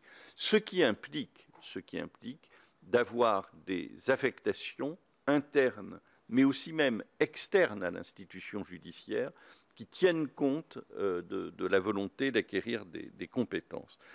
Euh, sur la régulation de la population carcérale, il y a une question. D'accord, je, vous, laisserai la, la, parole. Pour la régulation de la population carcérale, pas de numerus clausus, mais la définition par établissement d'un seuil de criticité. Et lorsque ce seuil de criticité est atteint, on met en place, on devrait mettre en place de manière préventive des mesures de gestion de la population pénitentiaire, de telle sorte qu'on puisse avoir notamment des libérations conditionnelles. Mais voilà, il, ne, faut pas euh, qu'on ait des seuils qu'on constate mécaniquement. Il faut qu'il y ait une gestion euh, prévisionnelle pour que des sorties puissent être anticipées. L'important étant non pas de, faire, enfin, le risque, c'est la sortie sèche en fin de peine, sans aucune perspective de reclassement et d'accompagnement. C'est ça aujourd'hui le vrai danger de la justice.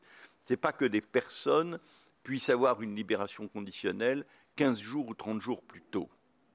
Enfin, sur les maisons de la justice et du droit, quel avenir euh, C'est la grande question. Ce sont effectivement les parents pauvres et avec le renforcement des moyens qui, est proposé, on doit pouvoir avoir des greffiers, des greffiers en chef, euh, en nombre suffisant avec les qualifications nécessaires pour tenir ces postes. Car aujourd'hui, euh, je, le reconnais avec accablement, la situation n'est pas du tout satisfaisante. Madame la Première Présidente et Monsieur le Procureur Général, une question sur le tribunal départemental. Oui. Oui. peut-être sur l'accès au droit. Il y a 20 ans, l'accès au droit, euh, dans les maisons de justice, c'était vraiment une politique nationale du ministère de la Justice.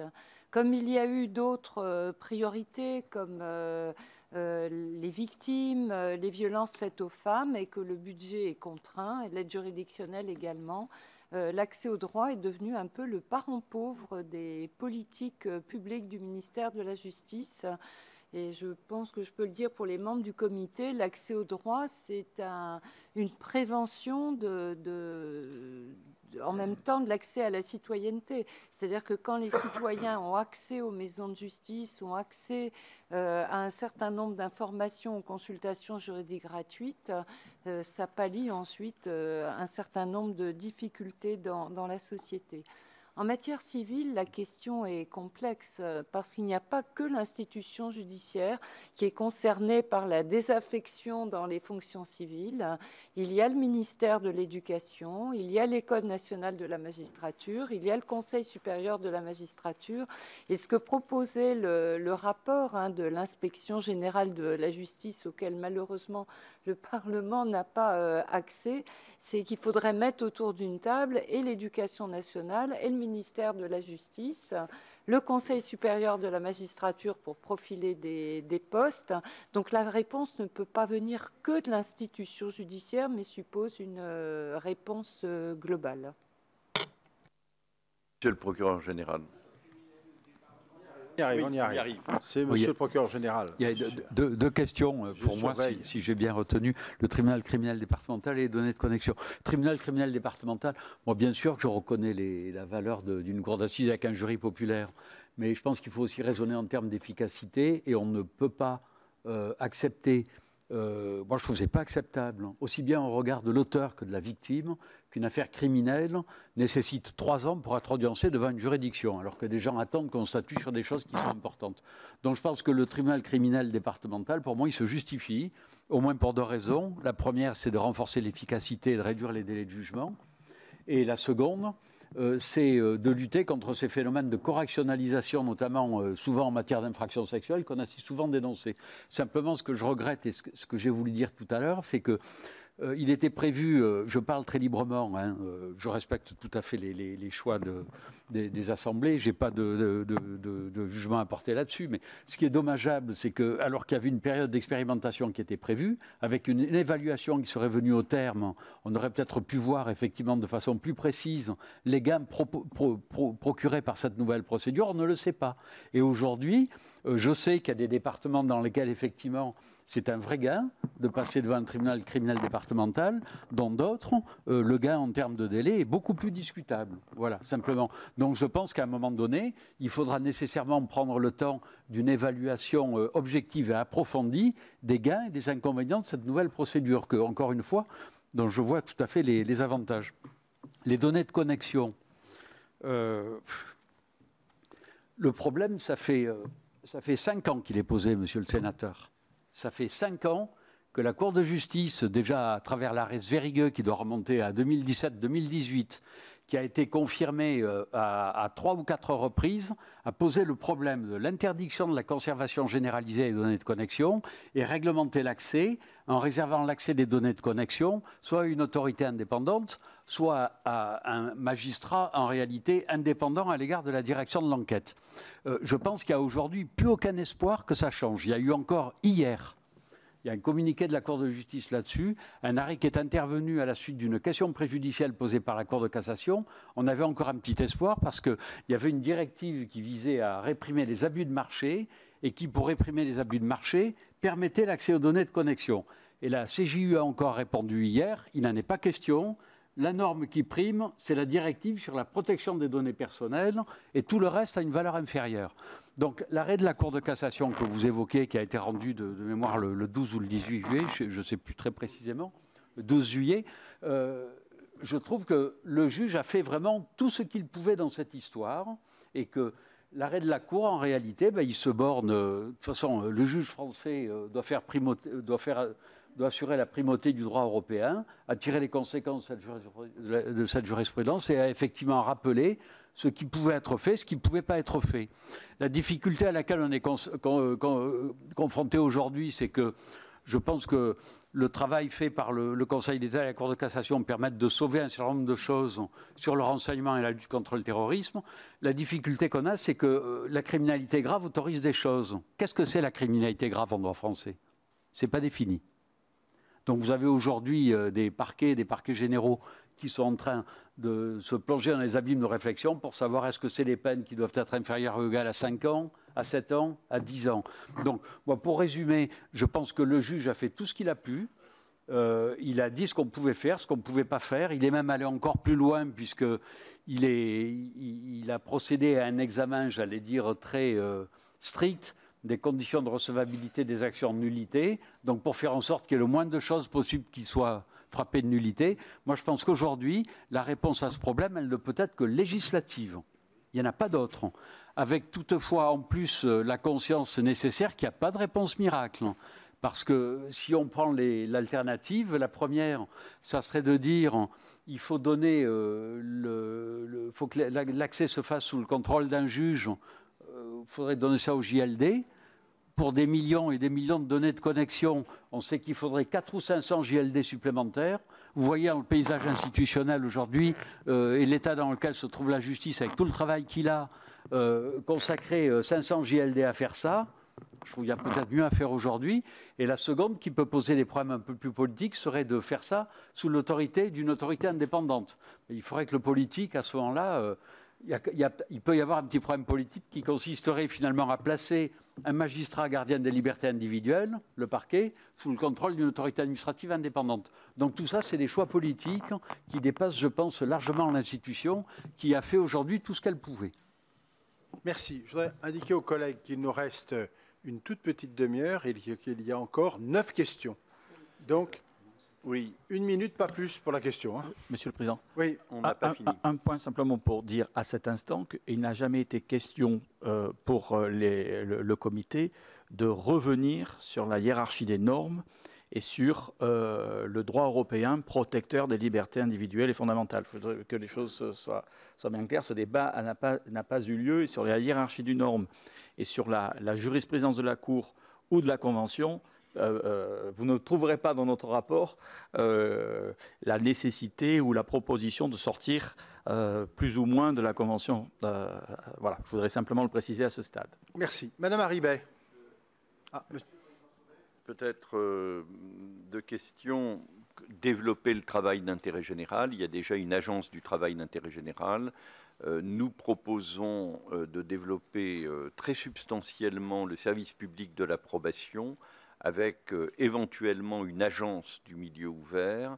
Euh, c'est un domaine dans lequel, effectivement, des progrès importants peuvent et doivent être accomplis. En ce qui concerne le coût euh, des mesures, soyons clairs, on ne peut pas faire dépendre la, la, politique de la justice uniquement de considérations économiques et financières. Euh, il est clair que le milieu fermé, 32 000 euros par an, c'est beaucoup plus important que 1 014 euros par an au milieu ouvert. En revanche, il faut que les peines euh, soient pertinentes au regard des actes commis, euh, qu'elles ne contrarient pas et qu'elles préparent la réinsertion et qu'elles contribuent par conséquent à la protection sociale. C'est un point qui est fondamental. Oui. Le comité, là-dessus, s'est beaucoup interrogé sur l'efficacité de la loi sur le bloc peine. Est-ce qu'il faut y revenir, pas y revenir? Euh, En tout cas, ce qui est apparu évident au comité, ça serait la nécessité d'avoir aujourd'hui très vite une audience d'aménagement des peines qui suivent l'audience du tribunal correctionnel, tout comme il y a aussi une piste qui a été euh, approfondie, euh, notamment au niveau du, groupe de travail, qui consistait finalement à revoir la répartition des rôles entre le juge de l'application des peines et le service pénitentiaire d'insertion et de probation. Euh, il y a un, constat qui est assez largement partagé qu'après la loi de 2019 sur le bloc peine, le juge, en réalité, euh, il fait beaucoup de choses qui ne devraient pas forcément relever de son office et qui pourraient tout à fait relever de l'office du directeur du service euh, départemental d'insertion et de probation. C'est peut-être sur ces deux choses-là qu'il faudrait peut-être travailler pour améliorer le dispositif. Madame Haribet, merci Monsieur le procureur général. Madame Haribet, et puis Madame Canaillé ensuite. Ces, derniers propos font la, liaison avec la, question que je voulais poser, puisque je me suis euh, attachée au groupe de travail euh, thématique euh, sur l'approbation et l'insertion. Et vous avez dit des choses très importantes, Président Sauvé, sur le sens de la peine et le travail d'insertion. Nous menons actuellement avec euh, ma collègue Marie Mercier une mission d'information sur euh, les SPIP. Et euh, il est très intéressant de noter qu'il y a une évolution du, métier. on est passé finalement d'une culture assistant social et accompagnement à l'insertion plutôt à une culture de mesure de la récidive ou non. Du coup, ces métiers ont bougé, mais pour que l'écosystème euh, fonctionne, euh, et vous avez parlé d'écosystème, il faut que autour des CPIP, nous ayons euh, tout un écosystème d'acteurs euh, de l'insertion et en particulier euh, des assistants sociaux, des psychologues. Et vous soulignez dans le rapport la nécessité d'augmenter le nombre de psychologues, mais vous parlez pas beaucoup de, des assistants sociaux, alors que nous, dans notre mission, on s'est bien rendu compte qu'il manquait très souvent ces effectifs-là. Et la question que j'aimerais vous poser aussi, parce que vous parlez beaucoup d'augmentation d'effectifs, euh, nous, on s'est rendu compte qu'en fait, il y avait un problème d'attractivité de ces métiers et euh, de la capacité à, recruter, euh, et pas simplement dans le domaine des CPIP, et de l'accompagnement de ces, de ces évolutions de culture métier. Donc voilà la question que je, voulais vous poser là-dessus. Je voudrais aussi faire une remarque un peu plus générale et avec une question derrière. Vous avez dit que nous n'avions ni outils statistiques, ni outils d'évaluation, ni professionnalisation des ressources humaines, du management des, ressources humaines.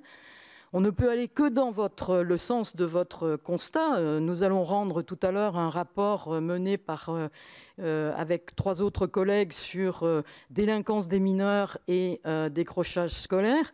Et l'un des points essentiels du rapport, c'est le manque de fiabilité statistique et euh, d'évaluation des politiques euh, publiques euh, qui fait qu'on peut raconter tout et n'importe quoi à partir d'une question qui est posée. Et dans, le, dans les groupes, dans, les, dans les rapports que j'ai lus, alors peut-être que je n'ai pas tout suffisamment bien lu, mais il n'y avait pas cet aspect de collaboration suffisante avec la recherche et avec la communauté scientifique. Euh, et repenser en fait euh, la formation euh, ça passe aussi par des observatoires et la distanciation des scientifiques qui, évaluent une politique publique. Il n'y a pas de politique publique sans évaluation. Je sais qu'en France, on n'est pas très fort pour ça. Mais quand on regarde du côté du Canada ou d'autres pays, on sait quand même que c'est un élément déterminant de l'évolution des politiques publiques. Excusez-moi, Président, j'étais un peu... Merci. Madame Canaillé. 30 secondes merci. finalement. Merci Monsieur le Président.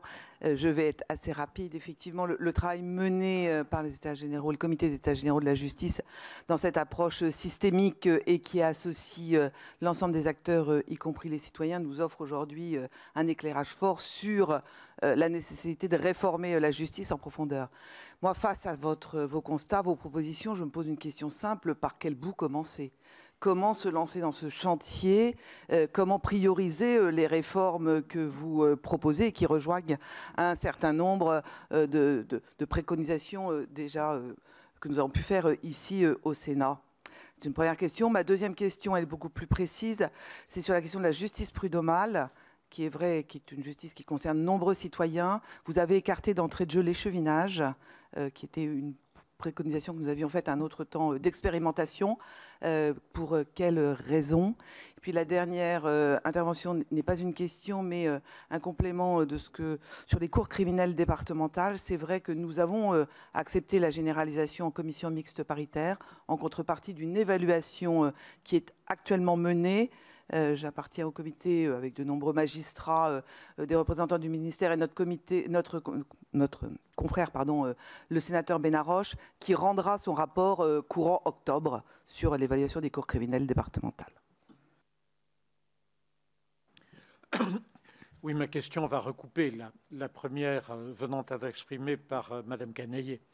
Votre rapport, votre synthèse est de très grande qualité, vous en êtes conscient.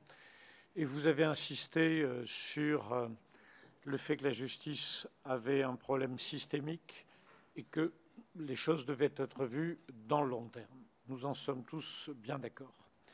Monsieur Sauvé, il y a quelques minutes, euh, a indiqué qu'il appartenait maintenant au gouvernement, sous le contrôle du Parlement, d'apprécier la suite à donner. Il n'est pas interdit quand même de vous demander un conseil. Entre la grande réforme systémique de long terme que euh, vous nous recommandez vivement, mais dont on mesure bien que c'est un chantier de titan et dont on pourrait imaginer qu'on finisse par ne jamais la voir, et des réformes euh, sectorielles, il va bien falloir euh, commencer quelque part. Et donc, ma demande de conseil, c'est tout simplement de vous demander de nous expliciter un petit peu, si vous l'acceptez, la suite de votre travail entre la logique globale, la logique sectorielle et oui, par où commencer. Merci. Merci, Monsieur Bonnecarrère. Euh, Monsieur Lecomte, qui sera bref. merci, Monsieur le Président. Monsieur le Procureur général, vous avez évoqué lors de euh, votre intervention liminaire la, croissance euh, du Code de procédure pénale, croissance qui nous a été aussi largement reprochée comme législateur lorsque nous nous déplaçons dans les juridictions. Il me semble que les trois causes de cette inflation sont euh, d'une part euh, le besoin parfois de réformer, deuxièmement les lois d'émotion et troisièmement la prise en compte euh, des exigences liées à des engagements conventionnels. je vous remercie aussi d'avoir, lors de vos exposés liminaires, marqué votre attachement à la hiérarchie des normes et en particulier au droit européen et qui nous conduit de temps en temps à devoir complexifier le code de procédure pénale pour tenir compte d'un certain nombre d'observations. Alors, ma question est simple. Quel, conseil donneriez-vous aux, législateurs pour essayer de contenir cette inflation alors que parfois euh, nous devons voter des modifications euh, euh, et comment faire pour éviter finalement de, faire croire la croissance de cette, de, cette inflation du code de procédure pénale liée aux lois d'émotion? Merci, Monsieur le Comte. Monsieur Alain Richard. Président, je suis saisi d'une interrogation devant la première phrase du premier paragraphe du rapport, qui énonce que le nombre d'affaires est, est, stable ou en diminution, alors qu'il me semble y avoir tout de même de nombreux symptômes de l'intensification de la demande de litige dans notre société. Et je voudrais suggérer, sans être euh, déplacé, qu'on pourrait l'évaluer tout simplement au volume d'activité mesurable par un chiffre d'affaires des professions du droit, qui est en nette croissance. Il me semble donc qu'il y a une, une poussée sous-jacente, au moins de la complexité, ou de, de, la plus forte conflictualité des affaires qui explique très largement la situation de saturation de la justice. Il me semble donc qu'il faut être au clair sur le diagnostic. Et j'ai un doute, personnellement, sur le caractère mesuré et, comment dire, euh, optimalement euh, réformiste des propositions de création d'emplois, alors qu'il me semble évident que les effectifs et le volume d'activité des professions extérieures qui produisent de la demande d'activité judiciaire est euh, exponentiel. Il me semble donc qu'il y a un peu un complément de recherche à faire sur ce diagnostic qui déclenche ensuite euh, les différentes recommandations. Je crois qu'il faut une appréciation systémique de euh, la demande de, traitement de litige. Et je, je, voudrais ensuite aller simplement dans le sens des préconisations du, rapport, dans le sens où les moyens supplémentaires devront être gérés. Il y a un management judiciaire, ce qui est encore un vilain mot pour une partie de la communauté judiciaire. Et ceci devrait se traduire par une autre mixité, qui est que, y compris les fonctions de management humain, euh, ou matériel d'ailleurs, euh, qui reviennent aujourd'hui pour l'essentiel au chef de cour devraient donner lieu à une assistance de nature plus professionnelle. Il me semble qu'on ne peut pas demander raisonnablement aux chefs de cour qui sont déjà très largement euh, saturés de jouer pleinement le rôle d'administrateur de leur juridiction sans une assistance beaucoup plus euh, professionnelle. Merci, Monsieur Richard. Madame Boyer. Merci, Monsieur le Président. Euh, j'ai une question qui courte et simple. Euh, Monsieur le Président, est-ce que vous pourriez nous préciser quel est pour vous le calendrier euh, idéal dans la situation dans laquelle nous nous trouvons et la quantité de places de prison à construire, d'une part, et d'autre part, pourriez-vous préciser votre pensée, s'il vous plaît, sur l'exécution des courtes peines?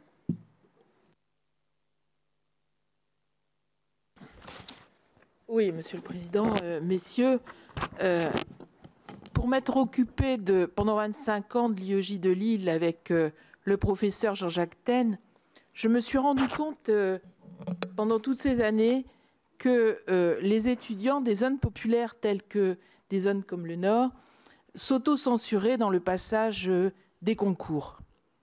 À savoir que très souvent, ils se, se disaient moins forts que d'autres. Enfin, ils s'auto-censuraient eux-mêmes.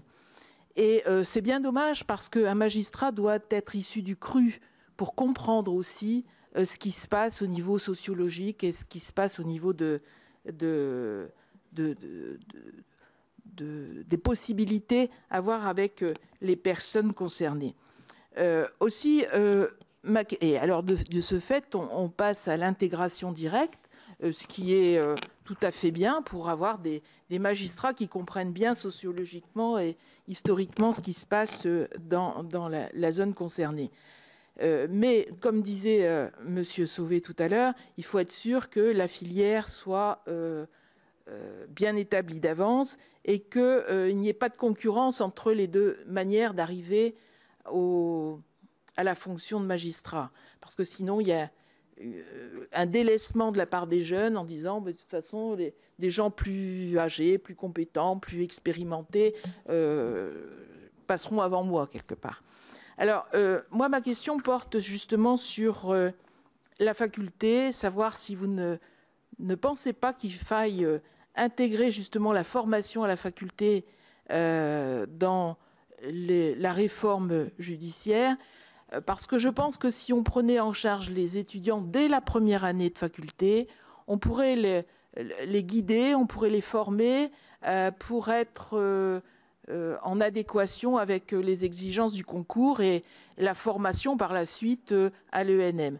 Si on, s'y prend trop tard, si on s'y prend en cinquième année, euh, bah, il y a un manque effectivement dans, ces zones euh, populaires de, compétences en matière euh, de culture générale ou autre, et c'est ce qui les gêne considérablement le jour de, l'examen et, le jour des concours. Merci Madame L'Herbier. Monsieur Benaroche. Merci Monsieur le Président.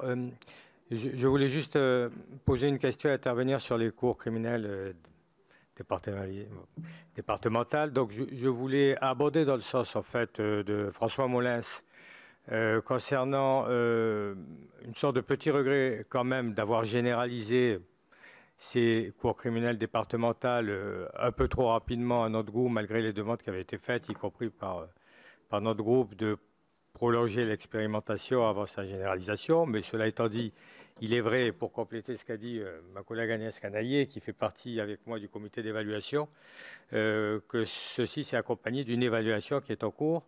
Et sur cette question de l'évaluation, j'avais d'abord euh, un, regret aussi, là aussi, que malheureusement, elle paraît un peu limitée parce qu'elle est organisée rapidement avec une expérimentation, en fait, euh, au cours de laquelle, forcément, quand on expérimente, on met euh, en avant les meilleures équipes. Donc, c'est les meilleurs magistrats, les meilleurs avocats, les, plus compétents, ceux qui ont le plus d'expérience avec tous les moyens. Donc, la petite euh, remarque a fait, entre autres, le barreau, c'est que est-ce que ça va se prolonger une fois l'expérimentation terminée, lorsqu'on sera vraiment en phase d'application réelle et une petite question en fait que je voulais poser euh, à François Molins, mais il ne me semble pas que nous ayons eu des éléments euh, sur en particulier euh, le fait que ces CCD arrivaient à éviter, en tout cas pendant la phase actuelle d'expérimentation, la correctionnalisation dont vous avez parlé, qui est quand même un des deux moteurs de la mise en place de ces CCD. donc, que, que pense-t-il de cet élément-là et a-t-il sur ce sujet un certain nombre d'éléments à nous fournir? Merci, Monsieur Benaroche. C'était la dernière question. Il vous reste, Monsieur le Président, à apporter quelques alors, Je laisse la première présidente et le procureur général répondre à un certain nombre de questions et je ferai la voiture balai. Oui, la question de Monsieur le sénateur Alain Richard, euh, le nombre d'affaires est stable, mais on voit que euh, dans les professions euh, judiciaires, il y a une nette augmentation des, chiffres d'affaires. Euh, la question pour les juridictions, c'est qu'elles ont un nombre d'affaires numériquement euh, importantes, euh, très, un stock extrêmement important. C'est-à-dire que ce pas les mêmes avocats qui plaident devant les juridictions et qui représentent ce chiffre d'affaires important. Euh, si déjà les juridictions n'avaient pas ces contentieux entre guillemets de masse, je pense que ça serait euh, moins compliqué. Et d'un autre côté, on l'a dit, les affaires se complexifient. Et donc c'est cette double contrainte, je parle de la matière civile, qui a comme conséquence qu'en dépit d'une certaine diminution des, affaires euh, civiles, les stocks euh, augmentent. Ce qu'on peut dire également au même moment, euh, lié à une, ce qui est tout à fait normal, à une jurisprudence du Conseil constitutionnel, le rôle du juge des libertés civiles s'est fortement accru. Il est juge des libertés concernant tout le contentieux de la contention. Euh, donc, c'est une question qui a été posée. Hein, euh, augmenter le nombre de juges des libertés, mais ça veut dire augmenter le nombre de greffiers. Par rapport au départage prud'homal euh, ou par rapport à la justice prud'homale, c'est une question également qui a été posée, mais c'est des choix budgétaires. Nous, ce qu'on a pensé, c'est qu'à périmètre constant, il fallait 1500 magistrats en plus. Si on souhaite qu'il y ait un échevinage pour les conseils des prud'hommes, combien de magistrats en plus? Donc après, c'est une question de, priorité euh, gouvernementale et une question de, priorité euh, pour le, Parlement. Une des questions qui a été posée par Madame la sénatrice euh, du Nord ou du Pas-de-Calais? Voilà. il y a une réponse, c'est les classes prépa talent. Euh, il n'en existe pas dans la région du Nord euh, Pas-de-Calais, mais il y en a euh, quatre qui ont été créés en France dans différentes régions. Il y en a d'autres qui sont en cours de création et c'est pour des étudiants extrêmement méritants qui sont boursiers et ça leur permet pendant un an de préparer le, concours. Oui, ça existe à Douai. Ça leur, leur permet de préparer le concours de la magistrature et il y a un taux de réussite de, 25%. C'est aussi une façon de répondre à la question de, la mixité. Euh, et ces, classes, en fait, sont en, déploiement euh, au sein de, de la magistrature. Monsieur le procureur général. Oui, je commencerai par la, dernière question monsieur, le sénateur sur les, cours criminelles départementales. Je suis un peu gêné pour vous répondre précisément. Euh, moi, j'ai appris avec beaucoup d'intérêt qu'il y aura une évaluation rendue par euh, donc, euh, cette commission au mois d'octobre. Et je pense effectivement que ça servira à répondre précisément à la question que vous posez parce que il faut, euh, pour que ce soit intéressant, il faut qu'il y ait un gain hein, dans effectivement la, rapidité de, et l'efficacité du traitement de ces dossiers. Euh, je répondrai peut-être plus précisément sur euh, la question sur l'inflation législative.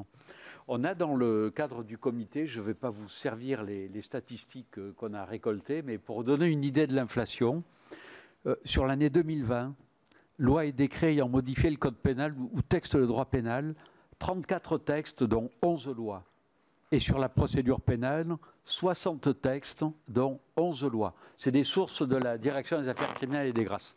Donc le constat, il est là, je pense qu'il est facilement partagé.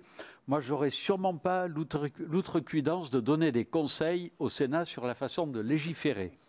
Euh, je n'irai pas dans ce domaine-là, simplement, je voudrais faire trois réflexions qui me paraissent euh, frapper du coin du bon sens.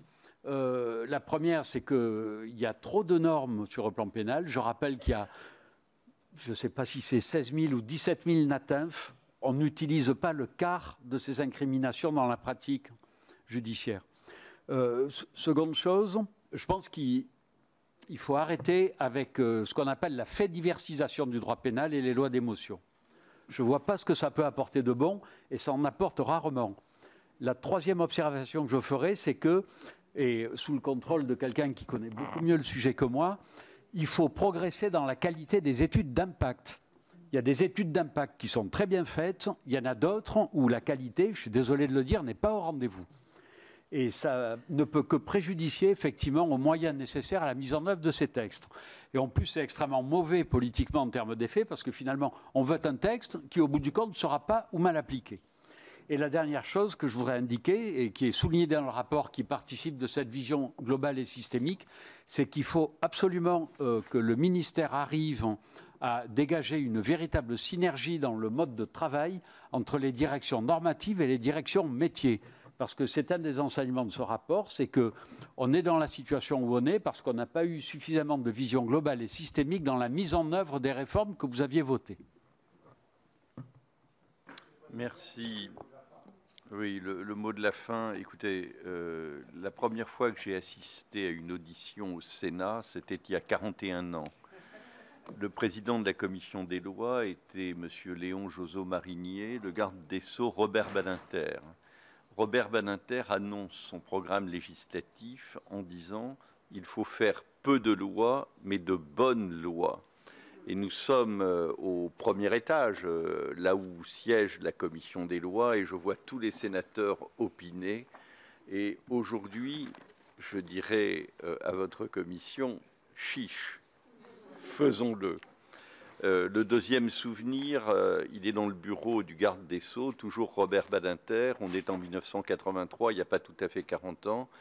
Et le député Alain Richard dit au garde des Sceaux, à propos du milieu ouvert, il faudrait sortir de l'incantation hein, et avoir un véritable service public de la probation. Alors j'étais très, euh, très, très choqué, très déstabilisé par ce qu'il disait, mais je dois avouer que le député Alain Richard avait raison. Alors maintenant, ayant dit cela, j'ai dit l'essentiel. Pour les SPIP, il y a un problème d'attractivité, il y a un problème de métier dans ce secteur, mais aussi pour toute la fonction publique. Et euh, il y a là, euh, je veux dire, si on veut, il y a un ministre de la fonction publique, euh, le garde des Sceaux, on doit repenser les métiers les carrières de la fonction publique. Il faut bien sûr qu'il y ait des outils d'évaluation et qu'il y ait une inscription, une articulation entre le travail des services publics et la recherche. En ce qui concerne la justice prud'homale, nous n'avons pas proposé l'échevinage généralisé, mais euh, nous, faisons une proposition qui, je crois, est tout à fait importante sur la proposition du groupe de travail Combrexel. Il faut, ab initio, orienter les affaires, soit vers la formation paritaire, s'il y a des chances raisonnables que la formation paritaire débouche sur un accord, soit vers la médiation, la conciliation lorsqu'une conciliation peut déboucher, mais aussi aller tout de suite vers le départage lorsque on, sait très bien qu'on ne peut pas euh, déboucher. Et ça, il faut vraiment euh, le, mettre, euh, le mettre en, œuvre. Je pense que, évidemment, je, fais l'impasse sur beaucoup de choses. il faut euh, je pense qu'on arrive à articuler réforme globale et réforme sectorielle, comme euh, le, sénateur Bonnecarrère l'a rappelé, par où commencer? Je veux dire, il suffit de prendre chacune des grandes articulations du rapport. Moi, je pense que la direction des services judiciaires, elle a sa feuille de route euh, en ce qui concerne la GRH. Il y a le Conseil supérieur de la magistrature, il s'acquitte de ses obligations, mais ça ne suffit pas. Ça ne suffit pas pour qu'il y ait une bonne gestion des ressources humaines. Il faut que le secrétariat général du ministère de la Justice aussi euh, prenne en main notamment la question du numérique. Bon, euh, pour la direction des services judiciaires, il y a la répartition des moyens par juridiction. J'ai été vice-président du Conseil d'État, comme vous le savez, mais j'ai réparti entre les juridictions les moyens en fonction de la demande de justice. C'est à notre portée, on peut le faire.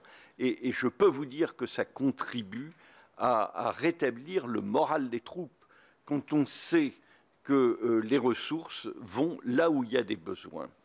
Euh, et puis, euh, quelques remarques sur les, créations d'emplois.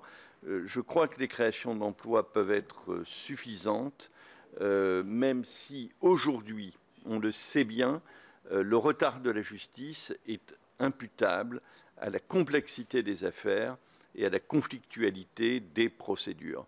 Mais euh, il ne faut pas aligner les moyens de la justice mécaniquement sur le développement de l'activité des professionnels du droit. Euh, les professionnels du droit, bien sûr, participent pleinement aux procédures judiciaires, mais en même temps, on sait qu'il règle et qu'il contribue à régler de nombreux litiges euh, avant que euh, l'on ne saisisse le, ministère de la Justice. Euh, encore une fois, il faut achever les programmes de construction pénitentiaire tels qu'ils ont été proposés et pour le surplus développer les courtes peines, les courtes peines d'emprisonnement. Voilà. Merci, Monsieur le Président. Peut-être un mot sur l'inflation législative. La proportion euh, de propositions de loi par rapport à la proportion de projets de loi est absolument révélatrice et montre à l'évidence que les parlementaires ne sont pas les plus prolixes en la matière. En revanche, euh, je dois dire que euh, l'aspect étude d'impact est un sujet qu'on a souvent relevé ici sur la nécessité d'avoir de véritables études d'impact et, pas tout, et parfois éviter quand même les études d'impact de qualité moyenne, mais je m'en tiendrai qu'à ce propos ou à ce qualificatif. En tous les cas, peut-être que vous vouliez reprendre la parole, je ne sais pas. Euh, J'ai commis un lapsus. Il Ah. ne faut pas développer les courtes peines d'emprisonnement. Oui, Il faut les réduire. Mais chacun avait rectifié. Merci. Il me reste, au nom de la Commission, à vous remercier, euh, à vous, Monsieur le Président, Madame la Première Présidente, Monsieur le Procureur Général, Monsieur euh, le Président du CNB, de votre présence ce matin et de la qualité de nos échanges. Merci à vous.